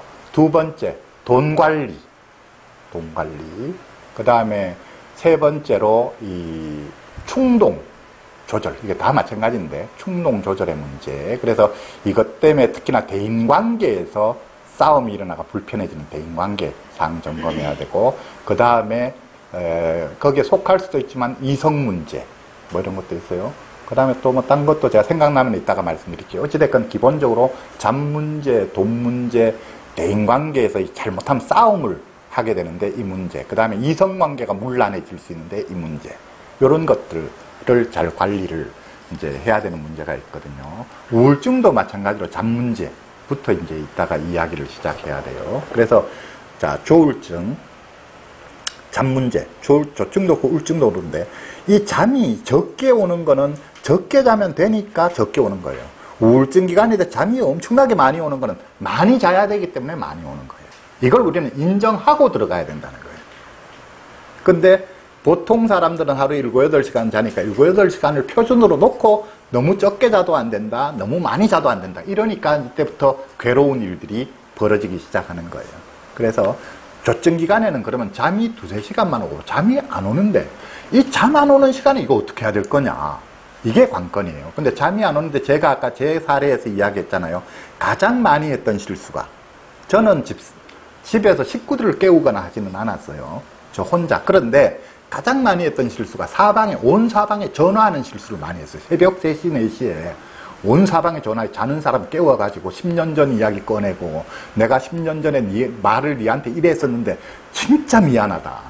일이 자다가 깨서 전화 받는 사람 얼마나 황당했겠어요. 이게 뭔 소린가 뭐 그런 아니면 뭐 갑자기 뭐 지금 아, 뭐 좋은 일이 있는데 뭐돈 한 1억 있으면 투자해서 같이 한번 해보자. 뭐 새벽 4시에 전화해서 이런 것들. 그래서 제가 그거를 그 다음에 제 스스로 컨트롤하기 시작했는 건 뭘로 컨트롤했냐면 컴퓨터. 글로 쓰는 거예요. 당장, 당장 막 전화하고 싶은 이게 이제 이게 조증 들어가면 충동 조절이 잘 안 돼요. 좋은 생각이 떠오르면 바로 해야 돼요. 어디 여기서 지금 서울 가서 누구 만나야 되겠다 하면 지금 바로 차로 출발해서 바로 서울로 가는 거예요. 이게 충동 조절이 잘 안 되는 게 이게 매우 큰 문제인데 이때 이거를 그나마 좀 잡을 수 있으면 되는 거예요. 그래서 전화하고 싶은 욕구를 누르고 전화하고 싶은 그거를 글로 쓰는 거죠. 좋은 사업 구상을 글로 막 쓰는 거예요. 이렇게 글로 막 쓰다가 보면 그나마 이게 이제 되는 거예요. 이게 그래서 그리고 이제 전화는 다음날 하는 거죠. 글로 쓰는 그러니까 컴퓨터 작업을 하는 게 저는 지금도 컴퓨터 작업을 해요. 제가 하는 몇몇 가지가 있는데 제 나름대로의 취미 생활이 있어요. 제 나름대로의 취미 생활 중에 하나가 도면 그리기예요. 건축 도면, 건, 건물의 그 평면도 이런 거 그리기인데 제가 원래 중학교 다니고 할 때 건축학과를 가고 싶은 마음도 있었어요. 건축에 관심이 있어서 평면도, 인면도, 뭐 건축 잡지도 많이 보고 그런 취미가 좀 있어요. 일종의 취미 활동이죠. 그 취미 활동으로 제 이 시간을 쓰는 그것도 있어요. 뭐냐면 이 상담센터 를 앞으로 어떻게 발전시키고 어떻게 상담 센터를 해 나가는 게 좋을까 뭐 할까 하면은 이제 요 얼마 안 되는 공간이지만 여기에 도면을 그리는 거예요. 옆에 사무실이 아직 확장이 안 됐지만 저 옆에 사무실이 만약에 빈다면 저 옆에 사무실은 어떻게 꾸밀 것인가. 어릴 때에는 내가 만약에 30평 집을 짓는다면 어떻게 지을 것인가 도면을 했었어요. 근데 그거는 그야말로 공상의 세계고 지금은 공상은 공상인데 조금 그래도 실현 가능성이 있죠. 이 도면 작업을 몇 번이나 했다고 말해야 되냐. 아마 제가 볼 때 천 번 넘게 했을 거예요. 지금 옆에 사무실 도면을 그린 것만 해도 200번, 300번 넘게 그렸어요. 보통 사람들이 생각하면 황당한 시간 낭비죠. 어떤 면에서. 근데 이렇게 생각을 하면 돼요. 기관, 우리 기관의 사업 발전 계획서를 쓰고 있는 거다 생각하면 돼요. 앞으로의 내년도의 사업 계획, 전해년의 사업 계획을 우리가 글로 쓸 수도 있어요.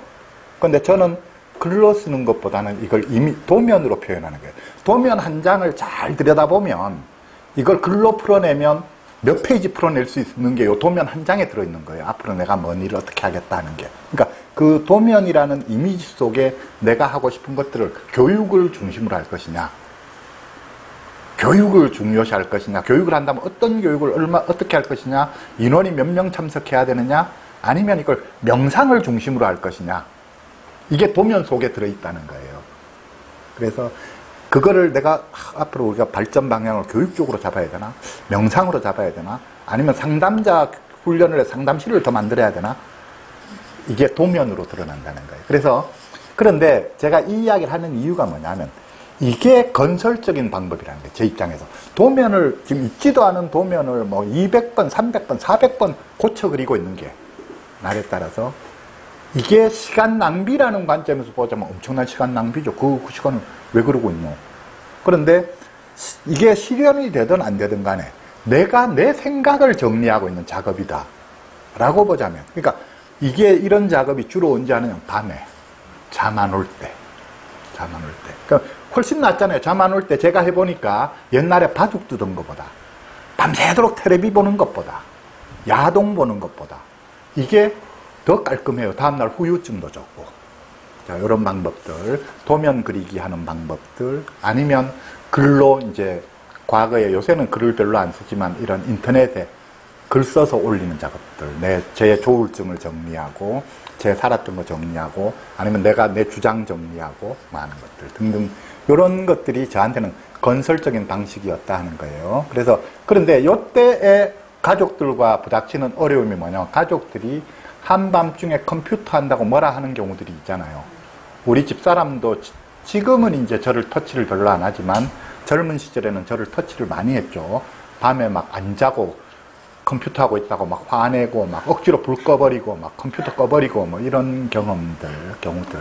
그러면 또 이제 더 도는 거죠. 이게 이제 내가 밤에 잠이 안 오고 에너지는 올라와 있고 끊임없이 생각이 날 때 이게 단지 잠이 안 오면 덜 괴로워요. 근데 생각이 너무 많은데 잠이 안 온다는 거예요. 그럼 이게 안에 고문이거든요. 이 생각을 말로 제일 수월한 거는 누가 이야기 나눌 사람이 있으면 그 밤에 대화하는 게 제일 수월한 방법이에요. 그러면 내가 에너지가 별로 안 들고 그냥 생각나는 대로 그냥 막 말하면 되잖아요. 그러니까 식구들, 그러니까 식구들이 만약에 안 자고 있을 것 같으면 누군가와 대화하는 게 제일 수월한 방법이에요. 내 말을 잘 들어주는 사람이 있으면 대화하는 방법. 근데 잘 들어주는 사람이 옆에 없으니까 전화를 하는 거예요. 그나마 친했다 싶고 내가 이 시간에 전화해도 내 말을 들어주리라 생각되는 사람한테 전화해서 한밤중에 이야기를 하는 거예요. 근데 이게 다 부작용이 있는 후유증이 있는 방법이잖아요. 그 전화해서 이야기하다 말고 중간에 싸워가지고 소리 질러가지고 그 좋았던 인간관계를 쪽내버리고 이런 식의 그런데 그것 말고 이 내 생각을 털어내는 거예요. 내 생각을 털어내는 작업이죠. 그러니까 인터넷으로 제 경우에 발견했는 게 글 쓰는 글 쓰는 거, 도면 그리는 거 이런 게 컴퓨터 상으로 이거를 털어내는 게 방법이더라 하는 것이죠. 그 다음에 이 시기에 해봤던 방법이 책 읽는 방법도 있는데 책 읽는 건 이건 내가 상태가 좋을 때 읽어져요. 상태가 덜 좋을 때는 잘 안 읽어지더라고요. 그 다음에 동영상 보는 거. 내가 관심 있는 예를 들어서 윗바사나 명상에 대한 동영상을 본다. 아니면 조현병에 대한 동영상을 본다. 무슨 동영상을 본다. 이 동영상 보는 거. 또는 뭐 지금 동영상 자막 작업하는 거 등등 이런 그러니까 저 나름대로는 이제 이게 이런 거죠. 제 경우에는 그래도 밤에 잠 안 올 때 저 나름대로의 대처 전략을 가지고 있습니다. 하는 거예요. 그러니까 각각의 당사자들도 그 대처 전략을 부작용이 없는 대처 전략 그리고 가능하면 생산적인 대처 전략 을 갖는 게 중요합니다. 그러면 그런 대처 전략이 있으면 밤에 잠이 안 오는 게 크게 문제가 안 됩니다 하는 거죠. 그리고 제가 가진 또 대처 전략 하나는 지금처럼 제 일하는 패턴을 조정했잖아요. 아침에 난 안 일어난다를 온 세상에 공표한 거거든요. 나는 아, 난 오후 2시부터 움직이는 사람이다. 오후 2시부터 상담 예약해서 하는 사람이 오전에 나는 못 움직인다. 라고. 그러니까 패턴을 제한테 맞게 이렇게 패턴을 만들어내서 살고 있는 거예요. 그래서 우리 이제 가족분들이 이거를 당사자분들도 이제 자신의 이 시간 관리 패턴을 찾아야 돼요. 조, 특히나 조증 있고 이럴, 이럴 경우에는. 조증 있는 사람, 조울증 있는 사람이 조증 시기든 시기도 그렇고 울증 시기도 그렇고 다 공통점인데 밤에 못 자요. 밤에 못 자요. 그렇기 때문에 아침에 새벽녘에 잠들어서 아침에 오전 시간을 잘 수밖에 없어요. 그래서 저는 그런 이야기를 하는데 조울증이 있는 사람한테 좋은 직업 패턴이 지금 저처럼 오후에 일을 시작해서 오후부터 저녁까지 하는 직업이 잘 어울리는 직업입니다. 근무 시간입니다. 상담센터가 그런 종류고 학원들이 그런 종류예요. 세상에는 찾아보면 그런 종류의 오후에 시작해서 저녁까지 하는 직업들이 들어 있어요. 그런 쪽이 제가 볼 때는 생활 리듬으로 볼 때, 이건 제 생각이에요. 조울증의 제 경험이고, 조울증에 잘 맞는 패턴인 것 같습니다. 그 이야기. 그 다음에, 그래서 이제 잠 문제가 하나가 있고, 잠 문제가 하나가 있고, 그 다음에 이제, 아까 돈. 돈 관리 문제가 이게 돈이 한정이 없어요. 조, 조울증, 조증이 있으면. 조증 시기에는 돈 1억도 우리 평상시에 한 뭐 10만원, 20만원 밖에 안 된다고 생각하시면 돼요. 돈 개념이 없어져요. 돈 개념이 없어져서 내가 주머니에 돈이 있으면 그 돈을 다 써버려요. 그 돈을. 있으면 뭐 친구들 만나면 기분 낸다고 쓰고 선물도 사주고 친구들 여럿 있으면 밥 사주고 술 사주고 뭐 몇백만 원 카드로 다 한도에까지 끌는 게 전혀 겁이 안 나요. 뒷생각을 안 해요. 그러니까 돈에 대한 개념이 없어져요. 그렇기 때문에 제가 이제 하는 저도 저 돈 많이 썼죠. 그 다음에 묻지마 계약도 잘해요. 묻지마 계약 잘해요. 그래서 돈 많이 날려요. 그, 그 다음에 또, 그래서 이제 이 돈이, 돈을 그래서 어떻게 해야 되느냐 하면 돈을 조울증이 있는 사람은 제 카드 절대로 만들지 마십시오. 카드 만들지 마십시오.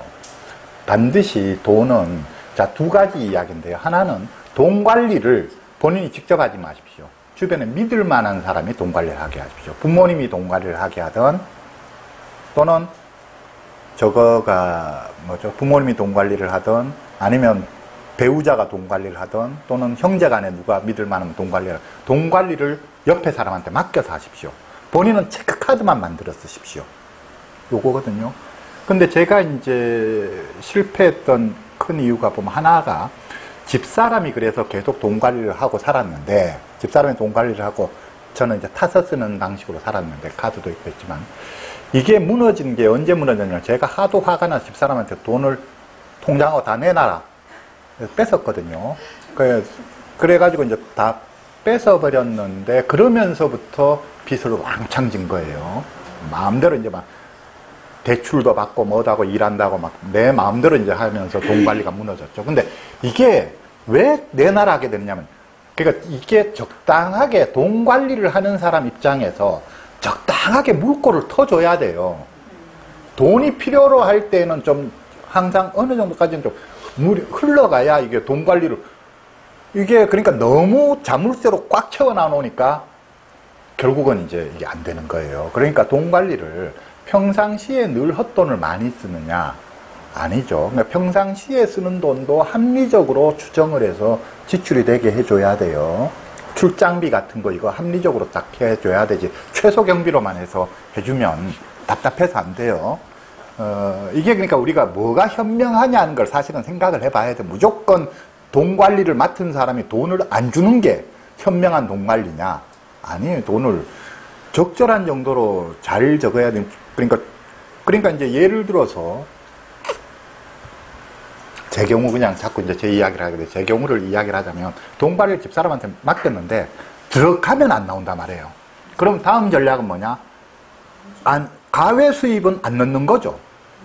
그러니까 만약에 집사람이 합리적으로 저한테 용돈을 주고 출장을 가야 된다 하면은 교통비에 플러스 사람들하고 밥 먹고 술 한잔 할 돈까지 합리적으로 줬더라면 제가 다른 돈도 다 넣었겠죠. 그런데 돈이 합리적으로 안 나오니까 제가 어디 가서 외부 가서 강의했는 거, 어디에서 했는 거는 맨날 강사를 안 넣는 거예요. 강의료 얼마 받았느냐 하면은 실제로는 50만 원 받아 놔놓고 20만 원 받았다, 20만 원 넣고 30만 원 안 넣는 거예요. 그러니까 이런 식의 이게 된다는 거예요. 그런데 이제 그래서 이 또 그다음 조증 시기가 되면 돈을 많이 써요. 이때는 돈을 조금 더 풀어줘야 돼요.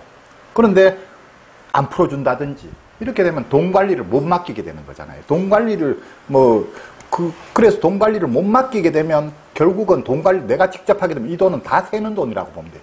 조울증인 사람 주머니에 있는 돈은 조, 조울증인 사람의 주머니에 있는 돈은 없는 돈이라고 생각하면 돼요. 스스로 관리가 잘 안 돼요. 거의 다 세요. 그러니까 돈 관리하는 사람이 자 이거는 조울증의 특성을 잘 알아서 돈 관리하는 방법을 잘 융통성 있게 이렇게 하셔야 됩니다. 그래야 돈을 맡길 수 있는 거예요. 그 다음에 이제 체크카드 만들어서 하는 거. 저도 체크카드를 만들어서 해야 된다 했는데 몇 번 실패했던 게 주변에서 카드 만들려고 또 억수로 친한 사람들이 권하잖아요. 할 수 없이 인정해서 만들어준 게 이게 다 빚이 되는 거예요. 그러니까 뭐냐면 또그 대학 교수를 하니까 이게 완전 VIP란 말이에요. 이게 막 대, 물건 사는 것도 뭐 예를 들어서 뭐 한 번에 살 수 있는 게한 2천만 원까지는 뭐 살 수 있고 그 다음에 뭐 돈 현금 인출도 뭐 한 번에 뭐 대번에 뭐 얼마 천만 원까지는 현금 인출이 되고 그다가 또 필요하면 더 받을 수 있고 뭐 예를 들어 한 5천만 원까지가 이게 한도액이에요 총. 그러면 카드 만들어서 몇 달 지나면 얼마 지나면 이 빚으로 다 차 있는 거예요. 늘 한도액까지 다 써버렸고 항상 맨날 내 거는 늘 돈 현금 인출 다 받아버렸고 그러니까 그런데 이런 카드를 젊은 시절에는 몇 개씩 만들어 있었거든요. 그러니까 이거 계속 돈 돌려막기 해야 되는 거죠. 그러니까 이제 그래서 절대로 카, 돈 관리 자기가 직접 하면 안 되고 조울증 있는 사람들은 카드 절대 만들지 마십시오. 무조건 100%다 빚이 된다고 보면 돼. 1, 2년 지나서 보면 그 한도액이 100%다 빚이에요. 할 수 없이 카드를 만들 때는 한도액을 최소한으로 만드십시오. 안 만드는 게 최고로 좋고. 그래서 무조건 그 현금 카드로 써야 돼요. 현금 카드로. 그래야 돈 관리가 돼요. 그리고 그러니까 현금 카드로 써야지 됩니다. 그 이야기죠. 돈 관리 부분을 하여튼 신경을 써야 되고요. 그 다음 이야기하는 게 사람들하고 싸우는 문제. 아, 조울증, 조증 시기 들어가면 많이 싸워요. 아는 사람들하고도 많이 싸우고, 또 길 가던 사람하고도 많이 싸우고, 별거 아닌 일 가지고 성질이 확 나가지고 많이 싸우거든요. 이게 이제 컨트롤이 잘 돼야 되는데, 이 싸우는 게 단지 사실은 조증 때문에만 싸우는 건 아니에요. 싸움의 근본은 안에 화가 있잖아요. 예를 들어서 집사람한테 화가 나 있다. 예를 들어서 아는 어떤 사람한테 화가 나 있다. 또 뭐가 화가 나 있다. 안에 있던 화가 터지는 거라고 보면 돼요. 그러니까 평상시에는 컨트롤이 잘 되는데 조증 시기가 되게 되면은 주변 자극에 민감하고 하니까 이게 거의 쥐뇌와 마찬가지에 건드리면 터져요. 건드리면 터지기 때문에. 자, 그러면 이제 안 싸우려고 하면 어떻게 해야 되느냐. 평상시에 자기 안에 있는 화를 사실은 없애야 되죠. 이게 없던 화 때문에 싸우는 건 아니에요. 말하자면 싸운다라고 할 때 평상시에 잘 지내던 사람하고 잘 지내던 사람하고 싸운다. 그래서 인간관계가 쪽났다 했잖아요. 평상시에 그 사람하고 표면적으로 잘 지내고 있었지만 속에 내가 뭔가 꽁 하는 게 기분이 억수로 안 좋게 생각하는 게 안에 있었다는 거예요. 그런데 조증 시기가 되면은 사소한 말 한마디에 평상시 같으면 이게 있어도 아, 뭐 웃으면서 지나가고 그 사람의 좋은 점이 많은 이런데 이 조증 시기가 되면 요거 꽁 하고 있던 게 말 한마디에 팍 터지는 거예요. 그러니까 싸우는 사람들이 그렇게 해서 싸우는 거거든요. 평상시에 자기의 분노를 없애는 작업 을 꾸준히 하셔야 돼요, 사실은. 안 그러면 조증 시기가 들어가면 터진다는 거예요. 터진다는 거고. 그래서 요런 거. 그 다음에 이제, 그래서 항상 화가 올라오거나 할 때 브레이크 한번 잡는 거, 그걸 할 수 있으면 돼요. 브레이크 잡는 게 뭐냐면, 우리 그래 표현적 글쓰기 같은 거. 그래서 주변에 털어놓을 사람이 있거나, 글쓰기가 있거나, 배출할 때가 있으면 내가 화가 팍 났는데, 옆에 불평불만하는 사람이 있어서 막 내 화난 이야기를 하는데 잘 들어주는 사람이 있으면 그 사람한테 한 30분, 1시간 이야기하다 보면 화가 그래도 좀 누그러져서 그 전화 안 해도 되는 상황까지 가요. 그러니까 잘 들어주는 사람이 필요하고 잘 들어주는 사람 없으면 어떻게 해야 되느냐. 글로 써야 돼요. 혼자 컴퓨터 켜놔놓고 막 처음에 개새끼 죽일 놈부터 시작해야 돼요. 막 속에서 욕, 욕 나오는 대로 써야 돼요. 죽이 뭐, 내가 지금 뭐, 아, 그렇게 막 몇, 막 하다 보면 나중에 이제 순화가 되죠. 쓰는 사이에 이게 저절로 나중에 줄어드는 거예요. 이게, 자기가 화를 제어하는 장치를 갖추고 있어야 돼요. 평상시에 화를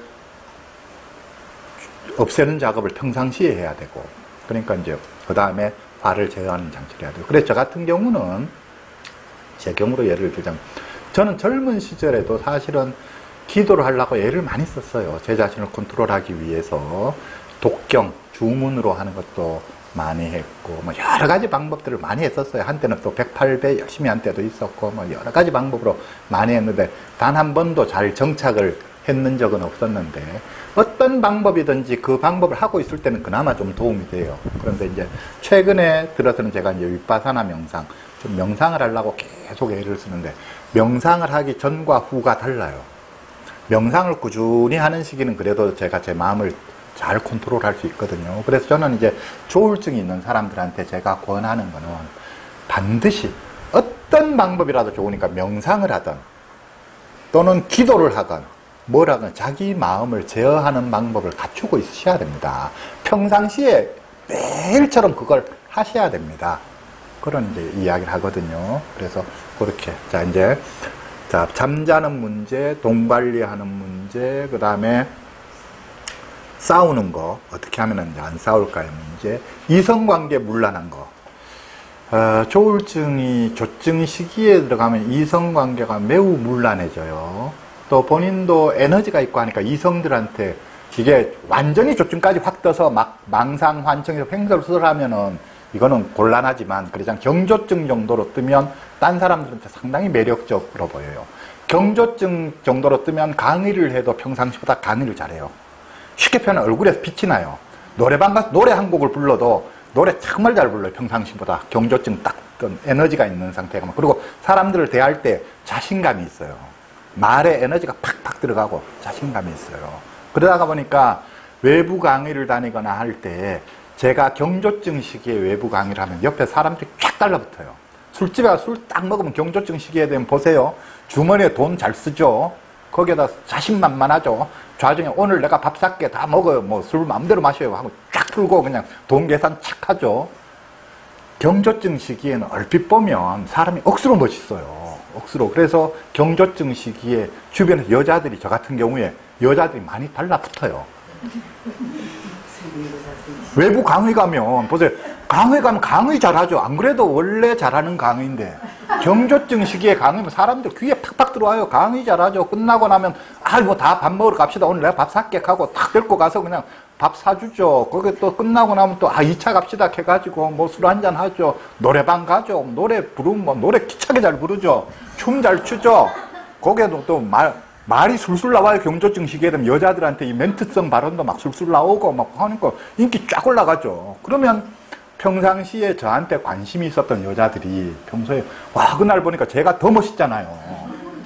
이래 되면 잘못하면 둘이 바람이 나는 거예요. 둘이서 그, 그래서 이기투합이 되는 거죠. 이래 가지고 바람을 바람을 많이 피웠죠. 그 경조증 시기에 되면 남자도 그렇고 여자도 그렇고 여자도 경조증 조증 올라가면 쉽게 이렇게 이성관계가 문란해져요. 이런 문제가 생기는데 문제는 뭐냐면 경조증 시기에 제일 큰 문제는 후유증이 있다는 거예요.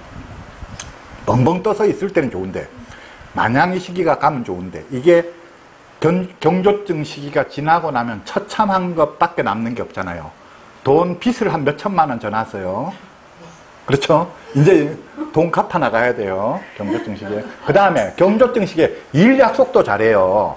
누가 연구 프로젝트 같이 하자, 책 번역 같이 하자, 뭐 같이 하자부터 누구 부탁 거절을 잘안 해요. 이런 게 있는데 좀, 뭐 좀 해줄 수 있냐? 아, 제가 해드릴게요.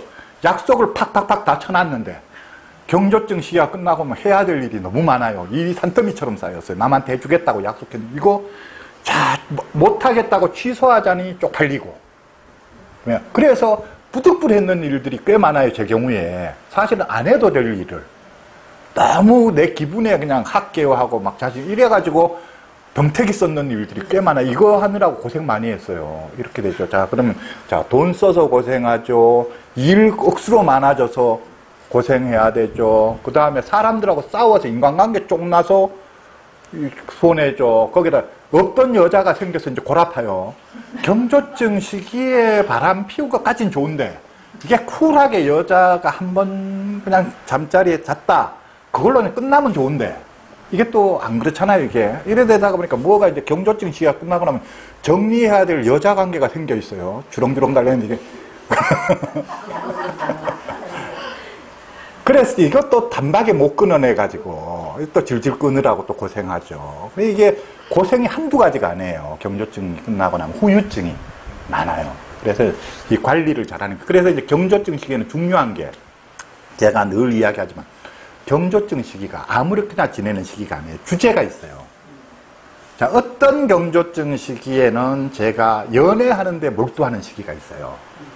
그러면 제가 이야기가 서울에서 대구까지를 매일처럼 오르내릴 수 있어요. 뭐 별로 힘들지 않아요. 그 다음에 그 연애하느라고 필이 꽂힌 시기는 막 몇 달씩 땡 하면 그 집 앞에 가 있는 거예요.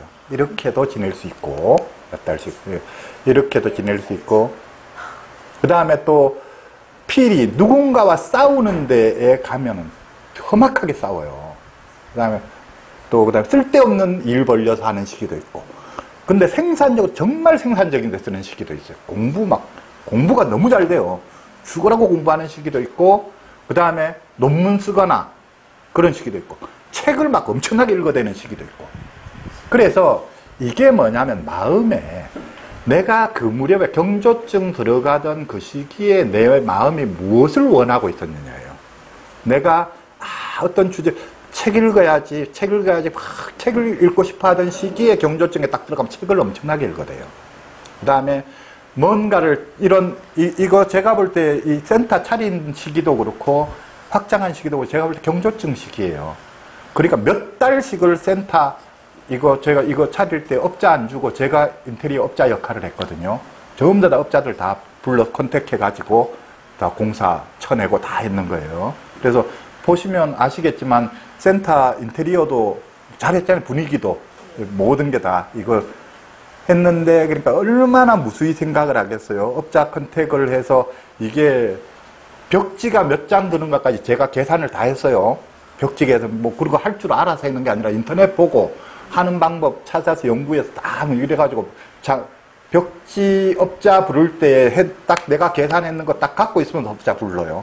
딱 보여주고 대조해 보십시오. 이러니까 업자들이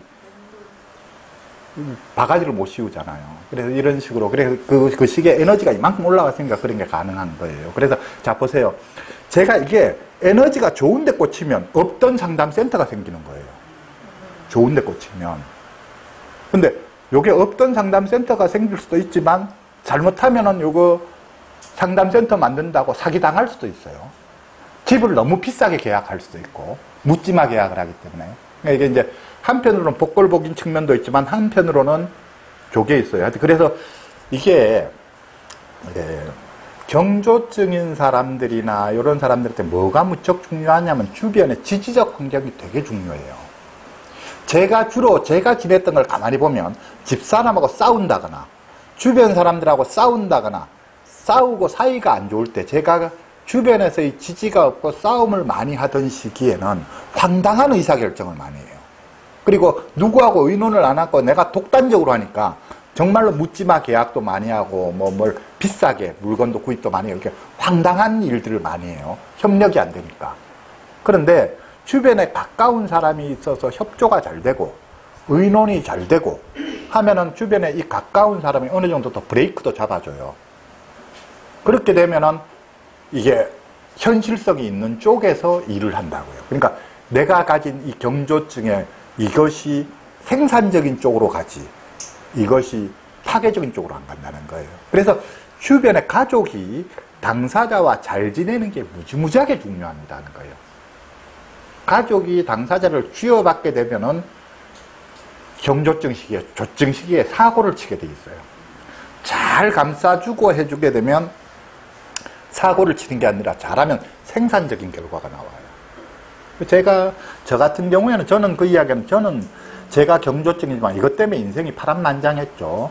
우리가 조울증 있는 사람은 인생이 좀 파란만장해요.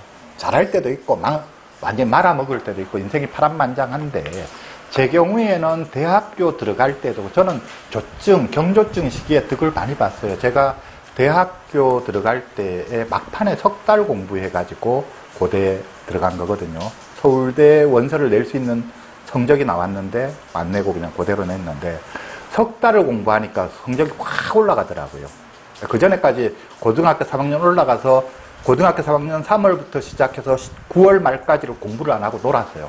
아무 공부 한 자도 안 했어요. 그냥 학교 수업 시간에도 맨날 농땡이 치고 완전히 거의 그 시기에 엄청나게 방황을 하느라고 하다가 마음 잡고 공부했는데 10월, 11월, 12월 석 달을 공부한 거예요. 그러니까 공부 안 하고 고3 올라가고 노니까 성적이 계속 내려갔죠. 완전 저 밑에까지 내려갔다가 석 달 공부해서 확 올라갔는데 그런 거. 그 다음에 중간에 논문 쓰고 대학 교수로 있을 때 논문 한 번씩 써내야 되거든요. 2주 만에 논문을 두 편씩 써내고 하는 거예요. 조증식이 올라가면은. 그런 게 가능해요. 그래서 그런 거라든지. 하여튼 이 조증이 올라가는 바람에 그 시기에 뭔가를 해서 좋은 일을 득을 본 경험이 꽤 있어요. 그러니까 제가 여기서 하는 이야기가 조울증이 꼭 나쁜 게 아닙니다. 어떻게 활용하느냐에 따라서. 그래서 이제 지금은 저 같은 경우에는 어떻게 되냐면 내가 다음번에 내가 조증 오면은 내가 뭐 한다라고 미리 마음 먹고 있어요. 미리 다음번에 오면은 내가 뭘 하겠다라고 계속해서 마음에 두고 있으면 다음번에 올라갈 때 그 일을 하게 돼 있어요. 그래서 그런 방법들 하거든요. 그래서 이제 그런 이야기. 쉬어야 될 때 된 것 같은데. 맞나요? 네. 잠시 쉽시다. 한 10분만 쉴게요. 에, 조울증에 대해서 제가 이제 에, 이것을 그러니까 제가 하는 이야기는 이것이 그 특성이라고 하는 것을 인정하고 그 특성을 잘 존중하는 방식으로 우리가 관리해야 됩니다 하는 거예요. 그래서 조울증 당사자를 돌보는 가족분들 같으면 뭐를 이해해줘야 되느냐면, 그러니까 저는 그런 표현을 하는데, 조증 시기에는 조증에 맞게끔 리듬을 타고 살 수 있어야 되고, 우울 시기에는 우울에 맞는 리듬을 타고 살 수 있어야 됩니다 하는 거죠. 비유하자면 조증 시기는 한여름, 날이 엄청나게 더울 때라고 비유한다면, 울증 시기는 한겨울, 엄청나게 추울 때인데, 그럼 여름에는 여름에 맞게 살아가고 겨울에는 겨울에 맞게 살아가면 되거든요. 옷 같은 경우에 여름에는 얇게 입어야 되고 겨울에는 두껍게 입어야 되고 하는 것처럼. 근데 이걸 무시해버리게 되면은 대응이 안 된다는 거예요. 그러면 당사자하고 갈등만 일어나게 됩니다 하는 거예요. 그러니까 당사자가 조증 시기에 들어간 것 같다 하면 부모님이 아 조증 시기구나 하는 거를 눈치를 채고 인정을 해야 된다는 거예요. 그럼 그 시기에는 아무래도 말수도 많아지고 조증 시기가 되게 되면 생각이 많다가 보니까 생각이고 엄청나게 빨리 진행이 돼요. 그러다 보니까 말수가 많고 말이 속도가 엄청 빨라요. 평상시에 비해서. 목소리 톤도 크고 이렇게 되거든요. 그래서 조증 시기에는 자, 항상 생각할 때 자기 네 혼자 해결해라 하면은 이게 혼자 해결이 참 어려운 거예요. 조증 시기에는 말을 많이 하고 싶어 하면 말을 많이 할 수 있는 자리가 있어야 돼요. 내가 이야기를 들어주건 아니면 누군가가 이야기를 들어주건 이렇게 뽑아주는 사람이 있어야 되고 이걸 나무라 하면 안 된다는 거예요. 너무 말 많다 하고 나무라 하고 이렇게 하면 안 되고 아 이걸 좀 뽑아줘야 되겠구나 해서 조증 시기가 되면 자기가 말을 많이 할 수 있는 그런 기회들이 있으면 말을 많이 할 수 있게 기회를 줘야 돼요. 가족이 내가 들어줄 수 있으면 들어주는 게 좋고 내가 못 들어주겠으면 어딘가 들어줄 만한 사람이 있어서 붙여줄 수 있으면 좋고 그런 게 안 될 때에는 하다못해 이렇게 글로라도 써서 자꾸 혼자 쓰는 것도 좋고 인터넷에 써서 올리는 것도 좋고 그래서 글로 써라라고 이제 가르쳐 줘야 되고 그래 말로 푸는 방법 글로 푸는 방법 이런 거 그거 자체를 지나치게 나무라고 제기하고 하면 안 됩니다. 함께 고민해 줘야 돼요. 어떻게 이걸 풀어내도록 할 것이냐 함께 고민해 줘야 되고 아까 이야기했던 다 마찬가지죠. 잠자는 거. 요 코치 해 주셔야 돼요. 밤에 잠이 안 올 때에는 또는 자다가 깨서 밤새도록 있을 때에는 요러 요렇게 하는 게 좋은 방법이라던데 하고 이제 자꾸 이렇게 코치를 해주는 그렇다고 나무라고 하라고 강요하면 안 되고 본인도 생각이 안 나서 못하는 수가 있거든요. 그러니까 인터넷 상에다가 컴퓨터 켜서 네가 하고 싶은 이야기 쓰는 또는 글로 쓰는 걸 좋아하는 사람은 글로 쓰는 것도 좋은 방법이에요. 그래서 그런 밤에 잠 안 와서 하는 밤 시간을 어떻게 보낼지 요거를 같이 의논을 해 주셔야 됩니다. 그 이야기고 돈 관리 부분 돈 관리 부분에 너무 평소보다는 조증식이 들어가면 돈을 어차피 조금 더 줘야 돼요. 너무 꽉 틀어 막으시면 안 됩니다. 그 이야기고.